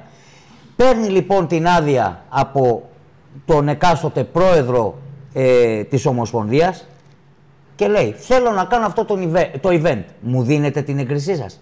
Αν είναι ποτέ δυνατόν να το αρνηθεί η Ομοσπονδία να κάνει ένα event που θα είναι show, που θα μαζέψει ξανά αθλητές, που, που, που, που. Αυτό δεν θα το πούμε όχι γιατί. Γιατί είναι και οι αθλητές σε εγρήγορση και συνέχεια προσφέρουμε θέαμα. Μην ξεχνάμε ότι εγώ έκανα έναν αγώνα το 14 στο ΘΕΑ, το οποίο έβαλε μέσα 2.500 κόσμο.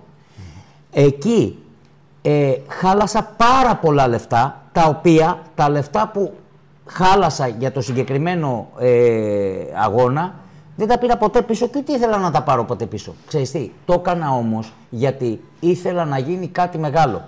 Όταν φτάνει λοιπόν οι χορηγίες που είχα και οι χορηγοί που ε, μπήκανε, που δεν είχαν ξαναμπεί, δηλαδή το να μπαίνει ε, η BMW Σπανός ας πούμε, στο, να μπαίνει χορηγία στον αγώνα, ε, δεν νομίζω να είναι λίγο πράγμα όταν ο ολόκληρος όμιλος μπαίνει χορηγία σε έναν αγώνα τέτοιο. Λοιπόν, από εκεί και πέρα ε, μπορούν να γίνουν event όταν βγάλουμε το εγώ μας. Πάλι θα φαινόμαστε. Πάλι ο Μισαηλίδης θα φαίνεται ότι έκανε αγώνα. Πάλι ο Μανώλης θα φαίνεται ότι έκανε αγώνα. Δεν μας ακυρώνει. Εμείς θα φαινόμαστε. Αλλά δεν είναι και κακό να είσαι υπό την αιγίδα μιας ομοσπονδίας. Κάπου ανήκεις, ρε φίλε. Κάπου ανήκεις. Ε, Υπηρετή, σου αρέσει ένα άθλημα. Δηλαδή, είναι ποτέ δυνατόν να κάνεις κάτι άλλο, να βγεις έξω από τα νερά. Και θα σου πω κάτι που γι' αυτό σου λέω κάποια πράγματα δεν τα γνωρίζουν και ε, πάντα υπάρχει και αντίλογος, αλλά θα σου πω εγώ κάτι. Λέγανε ας πούμε για το γκολιγκιόνι μπορεί να έχουν πει κάποια πράγματα. Θα μου πει ένας, ένας στην Ελλάδα, ακόμα και ο προηγούμενος πρόεδρος της Ομοσπονδίας που κι αν είχε βγάλει χρήματα, και το γνωρίζεις πάρα πολύ καλά, θα μου πει μία φορά που έβγαλε έναν αθλητή έξω με δικά του έξοδα. Και θα σου πω εγώ ότι ο Κολυγκιόνη έβγαλε 10 άτομα στη, στη Μάλτα, τα πλήρωσε, πλήρωσε όλα τα ειστήρια. Τι θα μου πούνε τώρα, ότι ο Κολυγκιόνη είχε δόλο; Ό,τι δόλο και να έχει. Έβαλε το χέρι στην τσέπη και πήγανε τα παιδιά έξω. Έτσι. Δηλαδή με νοιάζει εμένα τώρα αν ο Κολυγκιόνη είχε δόλο. Δηλαδή εκεί θα το ρίξουμε αν ο Κολυγκιόνη είχε δόλο. Η ουσία Γιατί δεν λέμε, η ουσία ποια είναι, γιατί δεν λέμε ότι ο Κολυγκιόνη γουστάρει αυτό που κάνει; Γιατί δεν λέμε ότι γιατί μου επιτρέπετε τώρα να χρησιμοποιήσω το όνομα γιατί το παιδί καν δεν το ήξερε. Μετά από χρόνια το έμαθε. Γιατί δεν λένε ότι όταν ο Ατυλάκος είχε κερδίσει το Ελλάς, το, το Ελλάς, το διαγωνισμό τότε ε, με το Σιδηρόπουλο, τα λεφτά για να πάει στη Ρωσία τα βαλαγώ χωρίς να το ξέρει κανένας. Γιατί τότε λοιπόν η, η εκάστοτε διοργάνωση δεν έβαλε τα λεφτά στον πρώτο που κέρδισε το παιδί; Να βάλει τα λεφτά να πάει έξω αθλητής. Και τα έβαλε ο Μισαηλίδης. Γιατί ο Σιατραβάνη έβαζε τα λεφτά, το, έβαλε τα λεφτά στο Σταυρουλάκι να πάει να παίξει πανευρωπαϊκό; Αλήθεια λες. Δηλαδή, θα κρυβόμαστε πίσω από το δάχτυλο. Είχα δόλο δηλαδή και εγώ τότε τι δόλο είχα. Αν θα φάω καλό χάμπουργκερ στη Ρωσία; Δηλαδή, μην λέμε ό,τι να είναι. Γιατί καλά είναι να τα λέμε έτσι, αλλά καλό είναι όταν θα μιλάς και όταν θα, πεις, θα το πεις ότι αγαπάς, θα βάλεις και το χεράκι στην τσέπη. Α, μπράβο, Γιατί εγώ το 14 έβαλα 4.900 από την τσέπη μου που δεν τα πήρα ποτέ πίσω. Και όχι μόνο έβαλα 4.900. Όταν πήγα και δηλωμένος κριτής στην Ουγγαρία, έδωσα και 250 ευρώ για το δωμάτιο που το δωμάτιο μου ήταν πληρωμένο. Δηλαδή, να πούμε τώρα τι, για αγάπες; Έτσι αγαπάς το άθλημα. Για αγάπες θα ουσιαστικά, μιλήσουμε. Όταν υπάρχει και διακύβευμα οικονομικό. Όχι θεωρητικά. Είναι πολύ σωστά αυτά. που Μιλάμε, λες. θα μιλάμε και ευθεία. μιλάς με ονόματα και το χαίρομαι αυτό. Κέρια η παρέμβαση του Τάσου και σε αυτό το, το φλέγον θα έλεγα ζήτημα με ονόματα και διευθύνσεις είπε τα πράγματα όπως έχουν. Ε, το να ισχυρίζεις ότι αγαπάς ε, το άθλημα ή το χώρο χωρίς να υπάρχει διακύβευμα είναι λόγια στον αέρα. Ε, όταν αγαπάς το άθλημα το στηρίζεις με ουσιαστικούς τρόπους και δεν υπάρχουν πιο ουσιαστικοί τρόποι ο- από το να πονάς οικονομικά προκειμένου κάποιοι αθλητές να βρούνε διέξοδο σε αγώνες ε, στο εξωτερικό. Άρα αυτά που μας είπε ο Τάσος είναι εύλογα, είναι αληθή και πρέπει όλοι να τα αναλογιστούμε. Ε, αγάπη για το άθλημα στον αέρα δεν υπάρχει. Τώρα, Τάσο, παρατηρώ μια τάση στους αθλητές, ενδεχομένως σχετίζεται και με τα προηγούμενα, που προτιμούν να ταξιδεύουν στο εξωτερικό χωρίς να εμφανίζονται στους αγώνες του εσωτερικού. Παλιότερα εμείς δεν το κάναμε αυτό. Πώς τη βλέπεις αυτή την τάση; Είναι στόχος η αγωνιστική καταξίωση μέσω στην ουσία λογικών αλμάτων, δηλαδή παλιά περνούσαμε την κλίμακα πανελλήνιο, βαλκανικό, μεσογειακό και ούτω καθεξής, ε, ή αυτός σκοπός των ε, περισσότερων είναι η προώθηση μιας προετοιμασίας μέσα από τα κοινωνικά ε, δίκτυα, το facebook, το instagram, για ιδιωτελείς σκοπούς ή ακόμα και για εγωιστικούς ε, λόγους. Πώς κρίνεις λοιπόν αυτή την τάση που έχουν αθλητές και νομίζω ότι αναπτύσσεται να παρακάμψουν την οικία ομοσπονδία, να πάνε απευθείας στο εξωτερικό για λόγους που αντιλαμβανόμαστε ενδεχομένως ή και όχι, ε, να μην τηρήσουν την κλίμακα που επιβάλλεται σε κάθε άλλο άθλημα, θεωρώ. Πρώτα κερδίζεις ένα τοπικό πρωτάθλημα, στην, εσ- στη εν συνεχεία το εγχώριο ε, πρωτάθλημα, ένα διεθνή αγώνα και έτσι προχωράς. Τώρα βλέπουμε απευθείας και από τον πρώτο αγώνα επιδιώκουν αγώνα στο εξωτερικό για κάποιους λόγους. Σε αυτό πάνω πώς τοποθετείσαι; Μανώλη μου, έχεις βαλθεί να μου ανοίγεις το στόμα. Πάντα όλα σήμερα. λοιπόν, Είσαι ο μόνος που μπορεί. μ' αρέσει όμως, μ' αρέσει που τα λες για να... Μ' αρέσει που με ρωτάς αυτά τα πράγματα για να... Τσιμπλάω εγώ. Ναι. Λοιπόν, κοίτα, έχουμε φτάσει, όπως το έχω πει και άλλες φορές, να κάνουν τα παιδιά ταξίδια αναψυχής. Κακώς δεν παίρνουν τις γκομενίτσες τους να πάνε στον παλί με τα λεφτά που χαλάνε. Γιατί το μόνο που κερδίζουν είναι να πηγαίνουν, να βάφονται, να κατεβαίνουν και να φεύγουν. Τίποτα άλλο. Απλά να υπάρχει άλλος ένας πάνω στη σκηνή που θα κερδίσει ο πρώτος. Αυτό που λες τώρα, γι- είναι ποτέ δυνατόν να μην έχεις κερδίσει Έλληνα. Έλληνα. Δεν έχεις κερδίσει Έλληνα. Και ξαφνικά να θες να, να βγαίνεις έξω να παίζεις, κέρδισε πρώτα έναν Έλληνα και μετά ο μόνος, ο μόνος που μπορεί να στηρίξει αυτό για μένα είναι ο Σταυρουλάκης. Εγώ σου λέω, μιλάω πολύ χήμα με ονόματα. Είναι ο Σταυρουλάκης. Γιατί; Γιατί ο Σταυρουλάκης έχει κατάστημα για τον ΑΒ λόγο είναι και η διαφήμισή του. Για τον ΑΒ λόγο το παλικάρι όταν πρωτοξεκίνησε με τον Ντένι James είναι για μένα, γι' αυτό είναι respect ο Σταυρουλάκης. Γιατί; Γιατί θα μπορούσε να πράξει μόνος του. Με πήρε τηλέφωνο το παιδί να το συζητήσουμε γιατί τον ετοίμαζα εγώ, ήμασταν πολλά χρόνια μαζί. Μου λέει σκέφτομαι αυτό, εγώ τον επαρεώτρινα. Του λέω ναι, να το κάνεις, θα βοηθήσεις και στη δουλειά σου. Γιατί, Γιατί πρέπει να κοιτάς και λίγο από την απέναντι όχθη. Γιατί όταν αγαπάς έναν άνθρωπο, πρέπει να, να του δείχνεις τον δρόμο πώς θα μεγαλώσει. Όχι μόνο αθλητικά, γενικά και τη δουλειά του. Ο Σταυρουλάκης λοιπόν είναι ένα παιδί που μπορεί αυτό να το στηρίξει και να πω ότι ο Σταυρουλάκης ναι, αξίζει να παίζει εκεί. Να κυνηγάει αυτούς τους αγώνες. Όλοι οι άλλοι, τη στιγμή που υπάρχει η Ελληνική Ομοσπονδία, κέρδισε πρώτα τους Έλληνες, που δεν έχεις κερδίσει ακόμα ρε καραμίτρο Έλληνα. Ε, δηλαδή, μη λέμε ό,τι θέλουμε τώρα. Κέρδισε πρώτα τους Έλληνες και αφού κερδίσεις τους Έλληνες, πήγαινε στην Ελληνική Ομοσπονδία, πάρε από εκεί και πέρα δύο αγώνες, παίξε δύο αγώνες, τρεις. Εκεί στο εξωτερικό, Elite Pro, όπως και να το λένε αυτό, Elite Pro, πάτα τα ποδαράκια σου, κέρδισε πρώτα κανέναν από εκεί. Τρίψε παντελόνι. Έτσι, κέρδισε πρώτα από εκεί κανέναν. Ναι. Δηλαδή, τι θες να μου πεις, ότι θα χάσεις τα χρόνια σου; Και ότι πότε θα περιμένεις εσύ να παίξεις NPC. Δηλαδή, το NPC μας μάρανε. Γιατί θα κάνεις ποτέ κάτι; Είναι ποτέ κανένας δηλαδή που θα κάτσει με αθλητές πρωτοκλασσά τους όπως είχες κάτσει εσύ και ο Μιχάλης; Ποιος είναι αυτός; Να μου δείξουν έναν. Ναι. Πώς γίνεται σε έναν αγώνα που δίνει 27 κάρτες να μην κατέβεις και με την κουτσή Μαρία; Πες μου έναν αγώνα του NPC που έχεις δει κάτι και έχεις πει wow. Πες μου έναν αγώνα. Δηλαδή θα ξεχάσουμε και αυτά που ξέρουμε. Πρώτα ε, λέγαμε επαγγελματία κάποιον και λέγαμε είναι επαγγελματίας. Τώρα ε, λέει ο άλλος ότι είναι επαγγελματίας και νομίζω ότι έχει λεωφορείο ή ότι είναι ταξιτζής. Λες, μάλλον επαγγελματίας στο ταξί θα είναι. Ταξί θα έχει ο άνθρωπος και τον λέει επαγγελματία.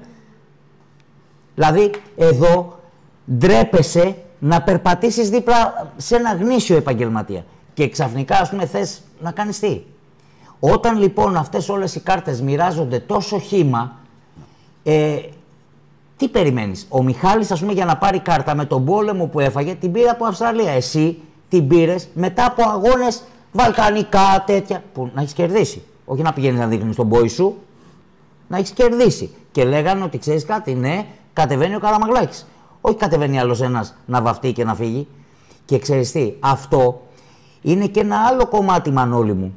Είναι και ένα άλλο κομμάτι που πρέπει να θίξουμε. Γιατί, Γιατί ένας προπονητής, ξέρω εγώ, που το παίζει προπονητής στην Ελλάδα, που για μένα προπονητής πρέπει να έχεις χαρτί να έχεις βγάλει μια σχολή, έστω και ιδιωτική, γιατί αλλιώς θα πάω και εγώ στο Μετροπόλιτα να κάνω τον καρδιολόγο. Θα πάω να κάτσω απ' έξω και θα λέω με καρδιολόγος, ελάτε να χειρουργήσω.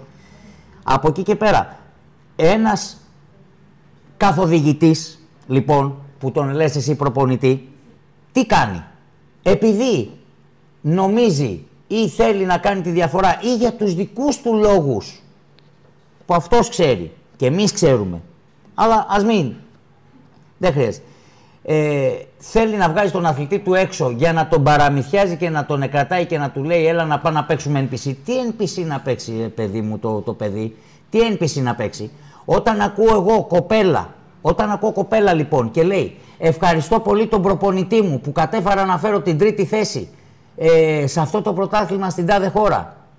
Κουκλίτσα μου τρεις ήσασταν. Γιατί δεν λες ευχαριστώ πολύ τον προπονητή μου που βγήκα τελευταία.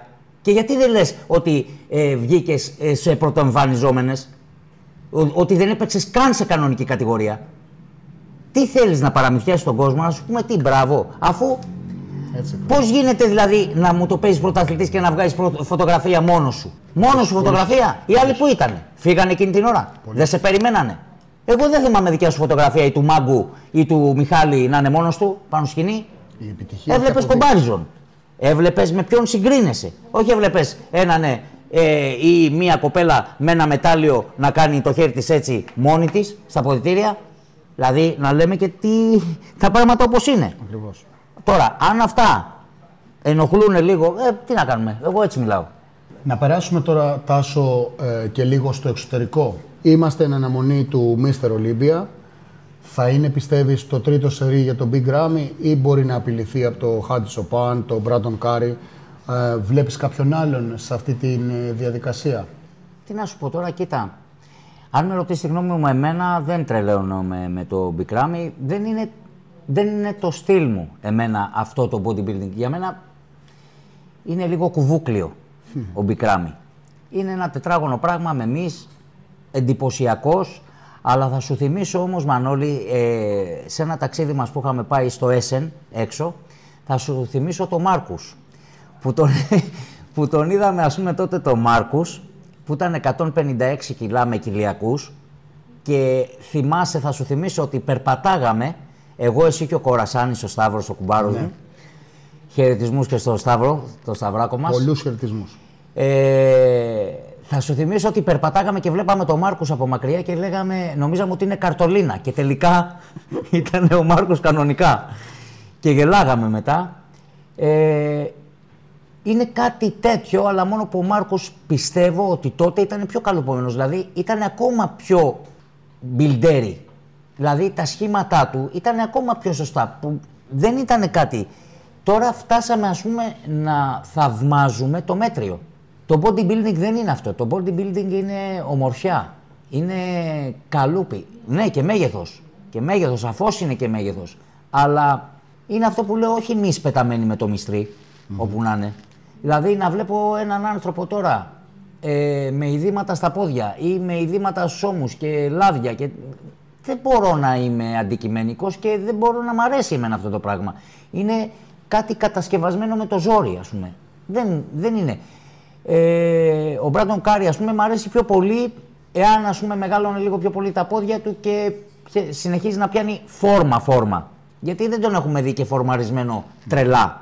Ήμουνα υπέρ τότε με το Ρόντεν που κέρδισε γιατί έπρεπε να γίνει αυτή η αλλαγή και που βέβαια και ο Ρόντεν ήταν στενός πάνω αλλά τουλάχιστον έβγαζε ομορφιά το σώμα του και ήταν, ναι, ήταν κάτι διαφορετικό.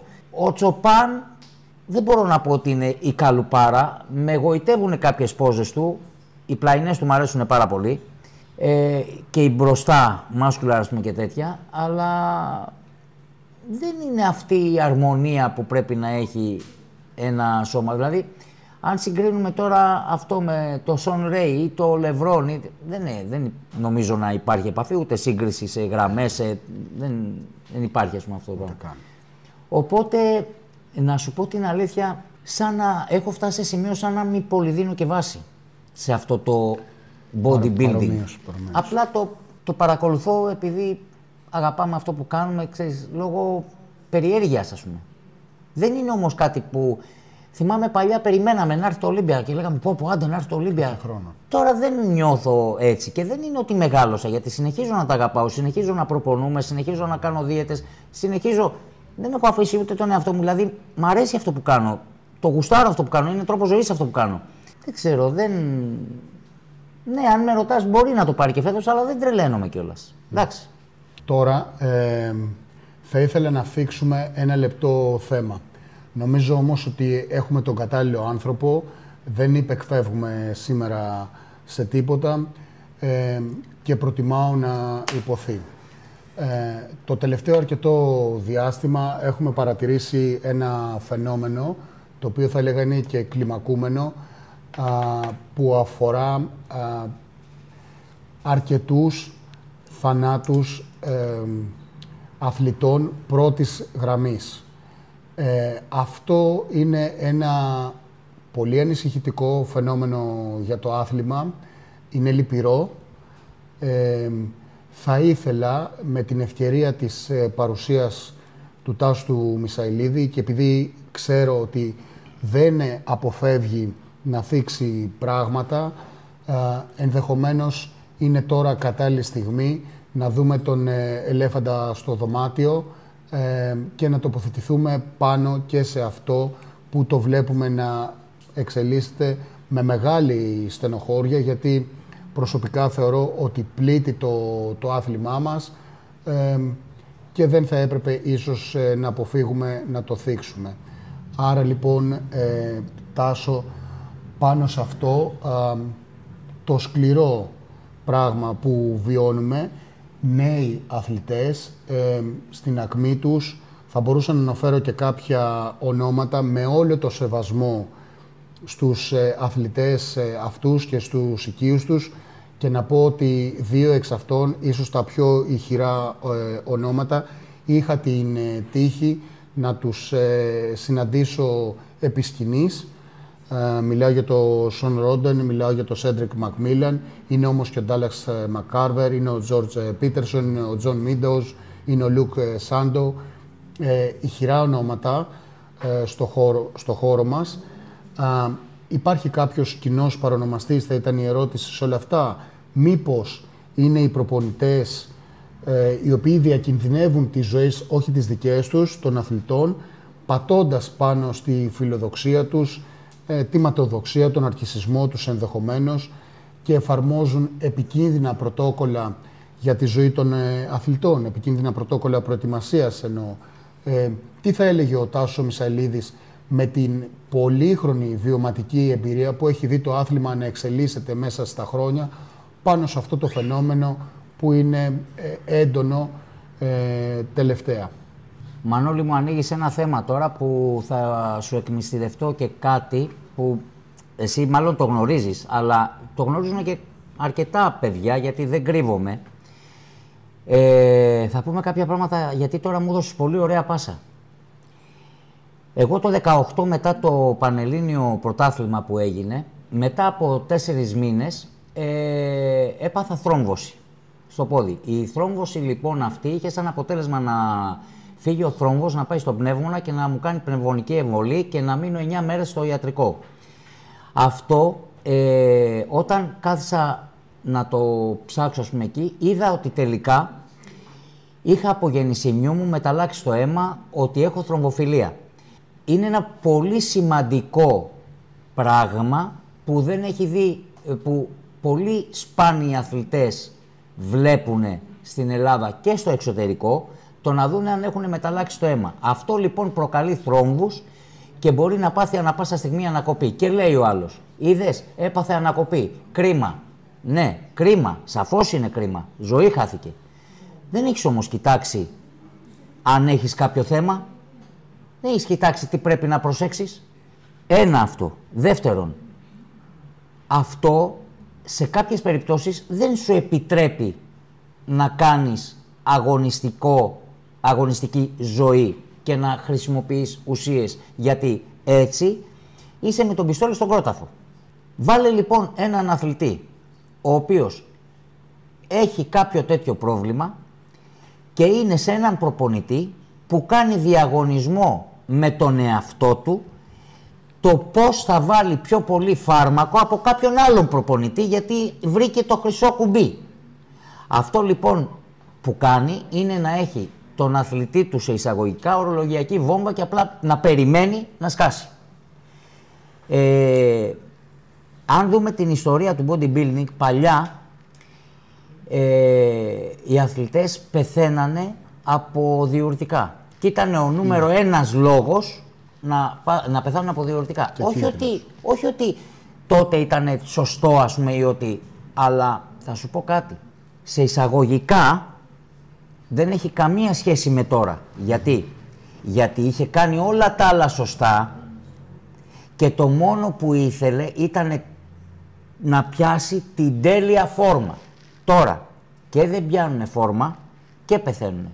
Γιατί, Γιατί προσπαθούν να βάλουν όσο πιο πολλά πράγματα μπορούν, δηλαδή ακούω πράγματα που λέω δεν γίνεται να, να το κάνει άνθρωπος αυτό. Και επειδή τυχαίνει και ε, έχω αρκετά ε, καλούς επιστήμονες δίπλα μου σε κάποια θέματα μπερδεύεται ο άλλος και λέει ε, αφού είναι 100 κιλά δεν θα πάρει ξέρω εγώ 6 τεοστερόνες τι λες ρε μεγάλε, ποιος σου το έπεσε αυτό; Ποιος σου το είπε σένα αυτό ότι επιτρέπει ο οργανισμός να το κάνει; Τι δουλειά έχει με γρασαδόρο, δηλαδή αν πάει 150 κιλά βάζει με γρασαδόρο; Δηλαδή, πού τα είδατε αυτά τα πράγματα. Και μετά, αυτό τι σου επιτρέπει; Ε, Παίρνεις φάρμακα για να έχεις ένα συγχωροχάρτη για το αν θα φας περισσότερη σαβουρά.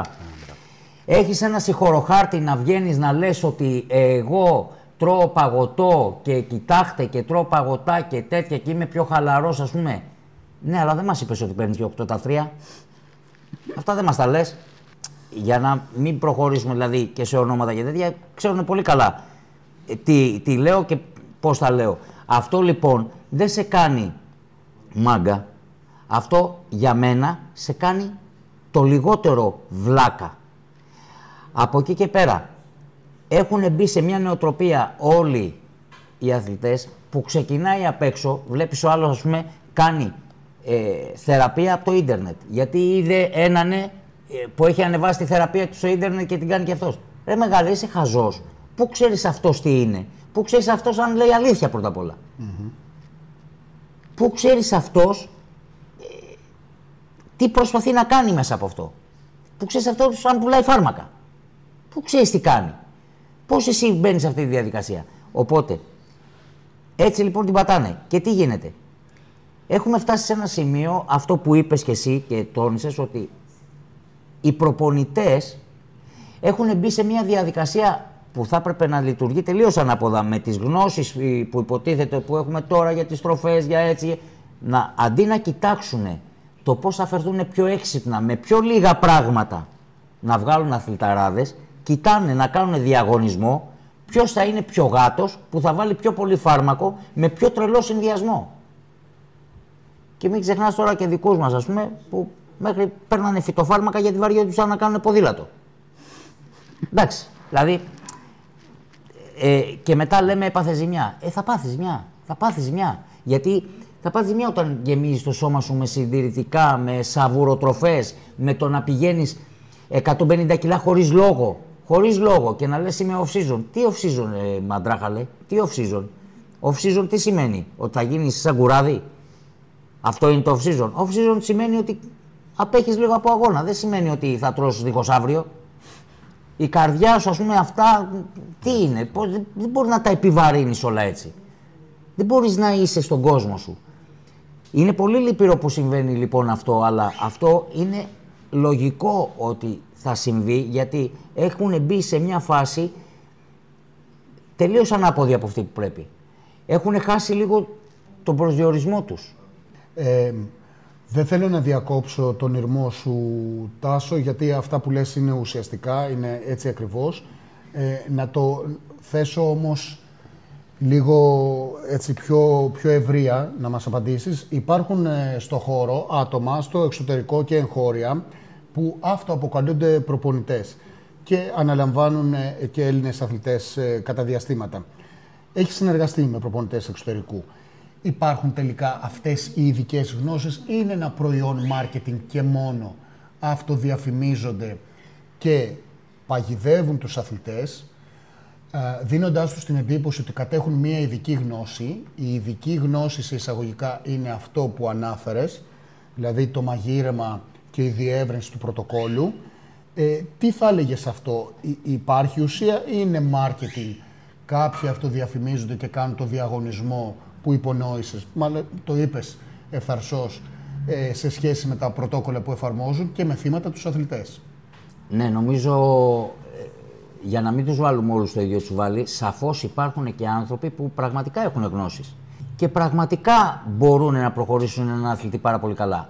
Υπάρχουν όμως και άνθρωποι που γνωρίζω προσωπικά που συμβαίνει αυτό για να λένε, να λέει κάποιος ότι ετοιμάζεται μαζί τους, δίνουν κάποιο χρηματικό ποσό σε κάθε αγώνα του για να λέει ότι είναι προπονητής του. Το έχω δει αυτό έξω σε έκθεση, έχει συζητηθεί, έχει γίνει ε, και το κατάλαβα ας πούμε ε, που έτυχε και μαλώσανε αθλητής με προπονητή σε εισαγωγικά. Σαφώς λοιπόν υπάρχουν προπονητές που μπορείς να πάρεις πράγματα. Μπορείς να πάρεις. Ναι, αλλά να πάμε όμως πάλι στην αρχή. Είμαστε εμείς σε αυτό το επίπεδο που, έχουμε το κάτι παρα... που θέλουμε το κάτι παραπάνω. Εδώ δεν έχουμε κάνει τ' άλλα. Δηλαδή, ακόμα δεν έχουμε μάθει να κάτσουμε στη θέση του οδηγού. Δεν έχουμε δίπλωμα. Το Ferrari τι το θέλουμε; Να μάθουμε να οδηγάμε πρώτα. Εδώ είναι μπροστά μας. Θα πάρουμε και το Ferrari. Φτάσε και στο Ferrari. Κάνε πρώτα τα άλλα. Πολύ σωστό.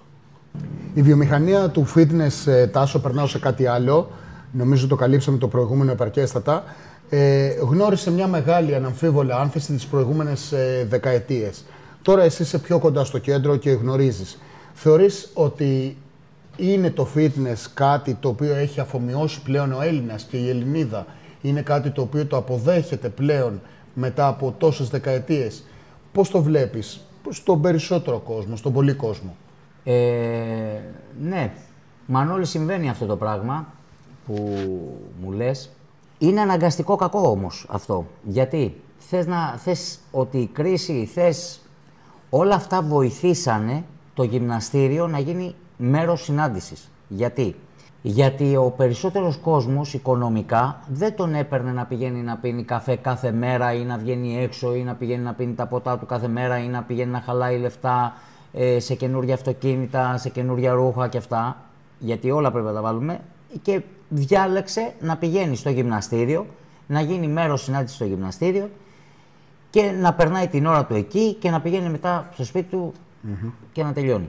Από τα 100 άτομα λοιπόν που κάναν αυτό το πράγμα, οι 70 είδαν ότι τελικά αυτό βοηθάει, τους αλλάζει τη ζωή, τους αλλάζει το φαίνεστε, τους αλλάζει και το χαρακτήρα σε εισαγωγικά και αναγκαστικά αυτό όλο, αυτή όλη η βιομηχανία άρχισε να ανθίζει περισσότερο.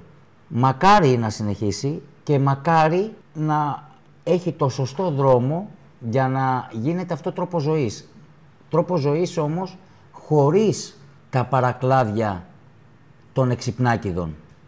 Δηλαδή, είναι σαν να ξαναγυρνάμε τώρα πίσω ότι η γυμναστική είναι υγιεινός τρόπος ζωής. Είναι ένα lifestyle που πρέπει να το ακολουθείς για καλύτερη ποιότητα Δεν είναι ε, η γυμναστική ε, για να ζεις με σοκολατίτσες, με σκατουλίτσες, με πατατάκια, με...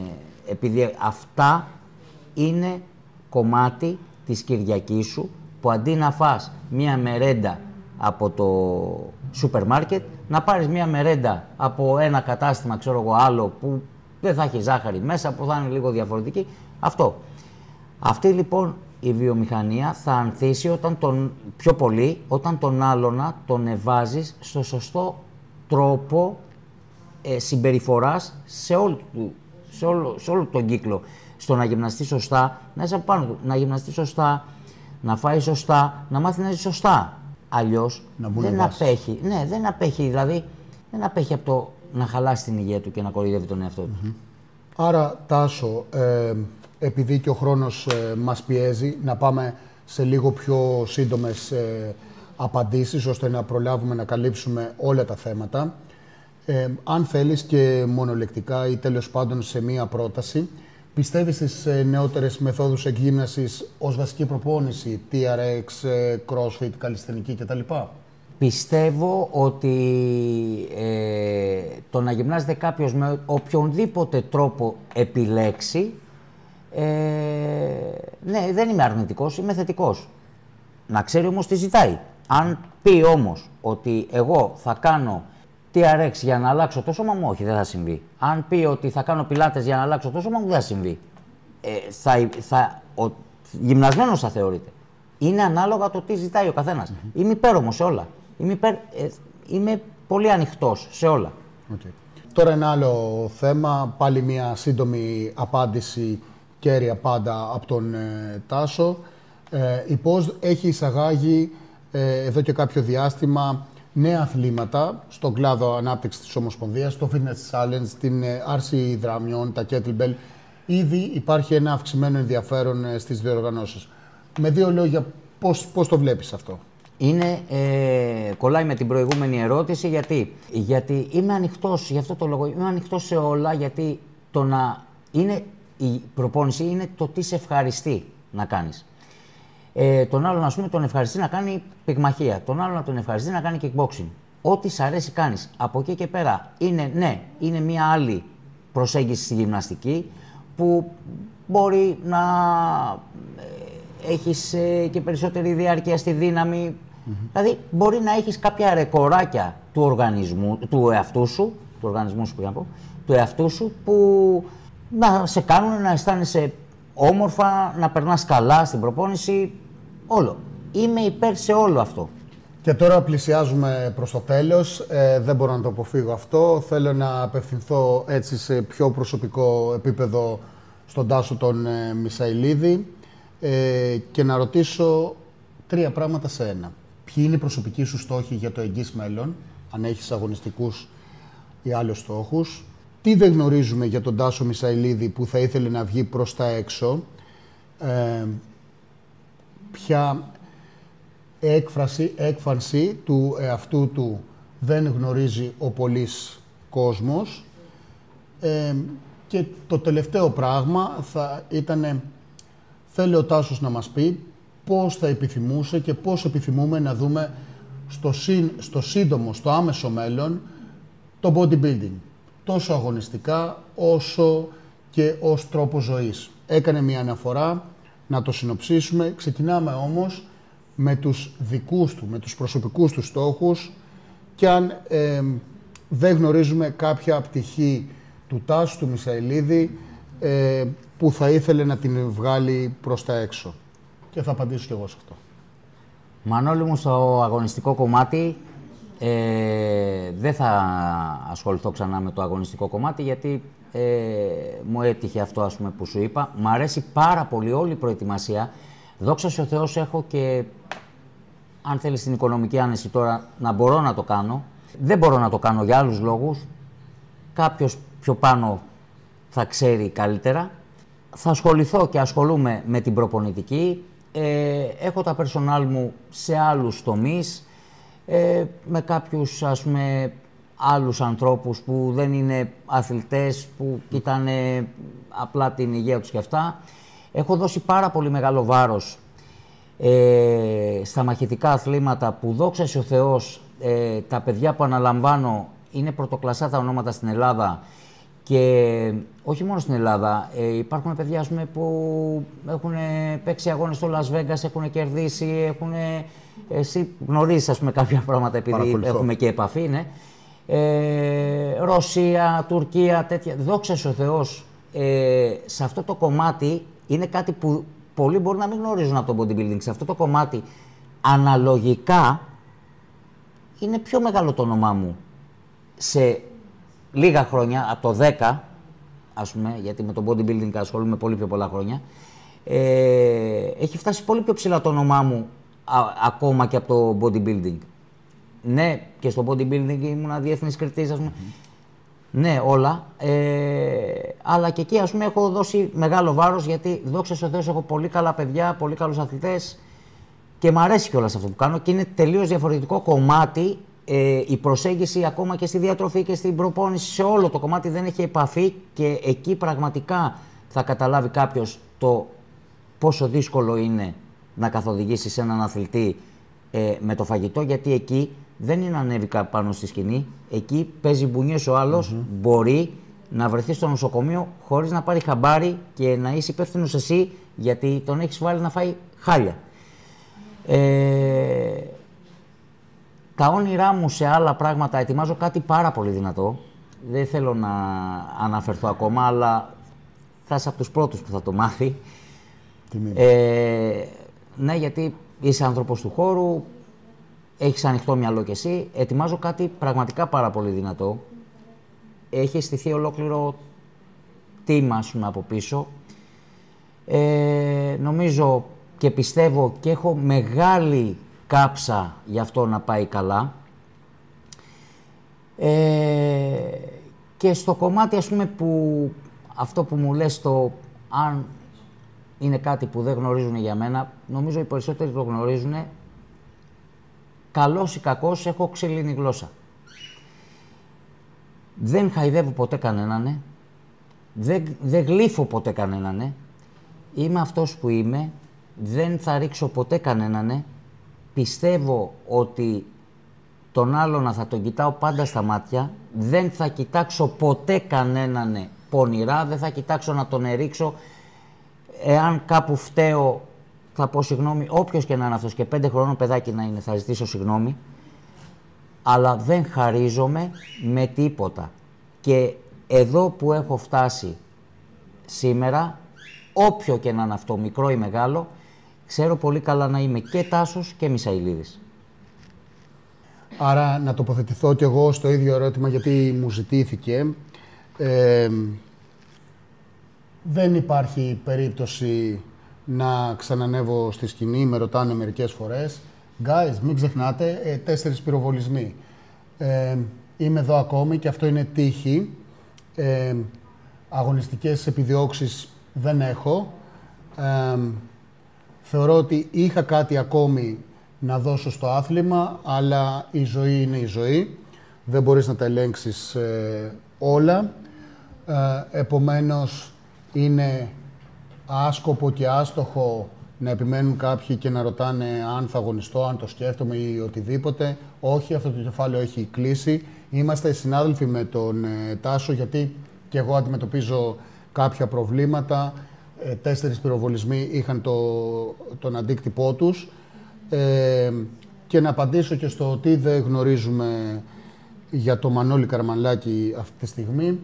Ε, Εγώ λειτουργώ σε δύο επίπεδα. Το ένα επίπεδο είναι αυτό το physical, ε, είναι η σωματική διάπλαση, είναι ο αθλητισμός ε, γενικότερα. Βέβαια δεν είναι ασύνδετο με το άλλο. Σε μένα έλξη σημαντική ασκούν τα νοητικά θέματα, άρα με ενδιαφέρει η φιλοσοφία, με ενδιαφέρει η αστροφυσική, ε, η φυσική. Ε, αυτά βέβαια τα πράγματα δεν μπορώ να τα συζητάω συχνά ε, στο χώρο της ε, σωματικής διάπλασης. Είναι όμως μία πτυχή μου, ε, τώρα ευκαιρίας ε, δοθήσεις να το πω κι εγώ. Και κλείνοντας αυτή την πολύ επικοδομητική συζήτηση με τον ε, Τάσο το Μισαηλίδη που μας ε, ανοίχτηκε, το περίμενα αυτό. Είναι ένας ε, άνθρωπος ο οποίος είναι τίμιος και ειλικρινής και τοποθετείται ε, με το, έχοντας το θάρρος της ε, γνώμης του, λέει τα πράγματα όπως τα πιστεύει, χωρίς πόζες, χωρίς ε, πρόζες. Για μένα ήταν και χαρά και τιμή ε, να τον ακούσω και μάλιστα εδώ στο δικό μας ε, χώρο. Ε, δεν κρύβω ότι πήρα από αυτή την συζήτηση αρκετά πράγματα. Είναι από τους πιο έμπειρους ανθρώπους που υπάρχουν στο χώρο μας και από όλες τις θέσεις. Επομένως, ο λόγος του μετράει σημαντικά. Θα πρότεινα λοιπόν σε όλους να ακούσουν και να ξαναακούσουν αυτά που είπε ο Τάσος ο Μισαηλίδης, κέρδος ε, θα έχουν. Ραντεβού στο Μίστερ Οδύσσια λοιπόν, να ευχηθώ στον Τάσο και τους υπόλοιπους και τους άλλους δύο κυ, ε, κυρίους συνδιοργανωτές, τον ε, Τάσο τον Κολυγκιόνι και τον Σπύρο τον Μπουρνάζο, καλή επιτυχία. Σας ευχαριστούμε πάρα πολύ ε, και σένα Τάσο ιδιαίτερα είσαι εδώ πέρα για όλα τα πράγματα που έχεις δώσει στο χώρο είναι από ανθρώπους σαν και σένα που ο χώρος αυτός υφίσταται, συνεχίζει ε, και έχει μέλλον. Σε ευχαριστώ και προσωπικά που με τίμησες. Εγώ ευχαριστώ, δικιά μου τιμή. Και τώρα πλέον ε, θα τα πούμε σε αυτόν τον αγώνα που πιστεύω ότι θα είναι σταθμός. Ε, άρα λοιπόν ολοκληρώνουμε εδώ αυτή τη συζήτηση με τον κύριο Μισαηλίδη. Ε, το χαρήκαμε και οι δύο. Σας ευχαριστούμε πολύ όσους παρακολουθήσετε το live και όσους θα δείτε την ε, ανάρτηση ε, που έπεται. Ε, είναι ένα κεφάλαιο στο χώρο της σωματικής ε, διάπλασης ο Τάσος και όποτε μιλάει, είτε αρέσει είτε δεν αρέσει σε κάποιους ο, ο λόγος του και αυτά που λέει, στην ουσία την αλήθεια εκφράζει, ενοχλεί ή όχι, έτσι είναι τα πράγματα και γι' αυτό λοιπόν τον ευχαριστώ θερμά που μας τίμησε και τοποθετήθηκε με αυτόν τον τρόπο σε ερωτήματα που νομίζω ενδιαφέρουν τους περισσότερους από εμάς.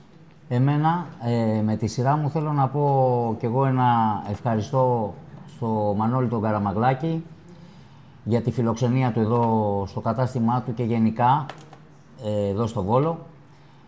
Ε, για μένα ο Μανώλης είναι ένας αθλητής πρότυπο που είναι αυτό ακριβώς ας πούμε που λέω ότι ξέρεις κάτι, αυτό το παιδί είναι επαγγελματίας. Είναι επαγγελματίας όμως σε όλα. Είναι σωματικά. Είναι στη δουλειά του απάνω, είναι, είναι έτσι όπως πρέπει. Ε, και θέλω να καταλάβουμε κάτι, ότι επαγγελματίας δεν σε βαφτίζουν οι φίλοι σου. Επαγγελματίας σε κάνει η συμπεριφορά σου το να μην πηγαίνεις πίσω σε αγώνες, το να έχεις κάτσει, να έχεις σταθεί σε μεγάλες σκηνές όπως έχει σταθεί ο Μανώλης και επαγγελματία σε, σε κάνει για μένα το πιο απλό πράγμα. Όταν βλέπεις κάτι μπροστά σου που για την Ελλάδα έχει ξεπεράσει τα όρια του φυσιολογικού. Δηλαδή, όταν εγώ θυμάμαι είχα δει το Μανώλη σε κάποια έκθεση, είδα πραγματικά ότι αυτό το παιδί είναι δίκαιο να λέγεται επαγγελματίας. Το να λέω επαγγελματία ένα παιδί που δίπλα θα δω άλλο ένα το ίδιο, δεν μπορώ να το πω. Δεν είναι επαγγελματίας για μένα. Δεν ευλογούμε τα γένια μας. Και δεν είμαι και τέτοιος άνθρωπος. Έχει τύχει με φίλο, ας πούμε, να μαλώσω πάρα πολύ. Με φίλο. Με δύο φίλους μου συγκεκριμένα, που είναι πάρα πολύ φίλοι μου. Ε, έχω ζητήσει συγγνώμη, μου έχουν ζητήσει συγγνώμη, ο καθένας μας από τη μεριά του και προχωράμε πάλι μπροστά. Δεν είμαι από τους ανθρώπους που ευλογάει τα γένια του. Ούτε ε, που λέει πράγματα για φίλους του έτσι για να τα πει. Τα πιστεύω και τα λέω. Όπως ας πούμε αυτό που έλεγα παρεμφερεί ας πούμε και για το Γιάννη το Μάγκο. Ότι ναι, είναι κάποια παιδιά που αξίζουν σεβασμό. Και αν πραγματικά καταλάβουν το πόσο σεβασμό αξίζει ο Μανώλης, ο Γιάννης ο Μάγκος, ο Μιχάλης ο Κεφαλιανός, τότε μόνο όταν καταλάβουμε, πραγματικά και το νιώσουμε, η, η Νόρα η Κόλλια, ας πούμε, για τις γυναίκες κι άλλες, η, η Λίτσα η Αβράμη, όταν εκεί λοιπόν νιώσουμε ότι αυτούς τους ανθρώπους πρέπει να τους σεβόμαστε, τότε θα καταλάβουμε ότι είμαστε σε εξέλιξη και τότε θα καταλάβουμε ότι πραγματικά θα κάνουμε πράγματα στη ζωή μας. Ο υπερόπτης άνθρωπος δεν θα κάνει ποτέ τίποτα στη ζωή του και πάντα θα είναι με μια δικαιολογία στο στόμα. Στο τέλος, ας πούμε, θα φταίει η μύγα που πέρασε και έκλασε και δεν, δεν μπόρεσε να πάει στον αγώνα. Δεν έχω να πω κάτι άλλο. Νομίζω ότι τα είπαμε όλα με το Μανώλη. Σίγουρα, σίγουρα θα επιδιώξω εγώ από τη μεριά μου, το υπόσχομαι ότι θα κάνουμε και άλλα πράγματα με το Μανώλη. Έχω κάποια πράγματα στο μυαλό μου που θα τα συζητήσουμε και μετά τη συνέντευξη. Θα κάνουμε αρκετά πράγματα γιατί πρέπει κάποια στιγμή όλοι αυτοί που έχουμε κάνει κάποια πράγματα να ανοίξουμε το δρόμο και σε εισαγωγικά να μην επιτρέπουμε στα παράσιτα να διαβάλουν ε, αθλητές άλλους. Να είστε καλά παιδιά, σας ευχαριστώ πολύ.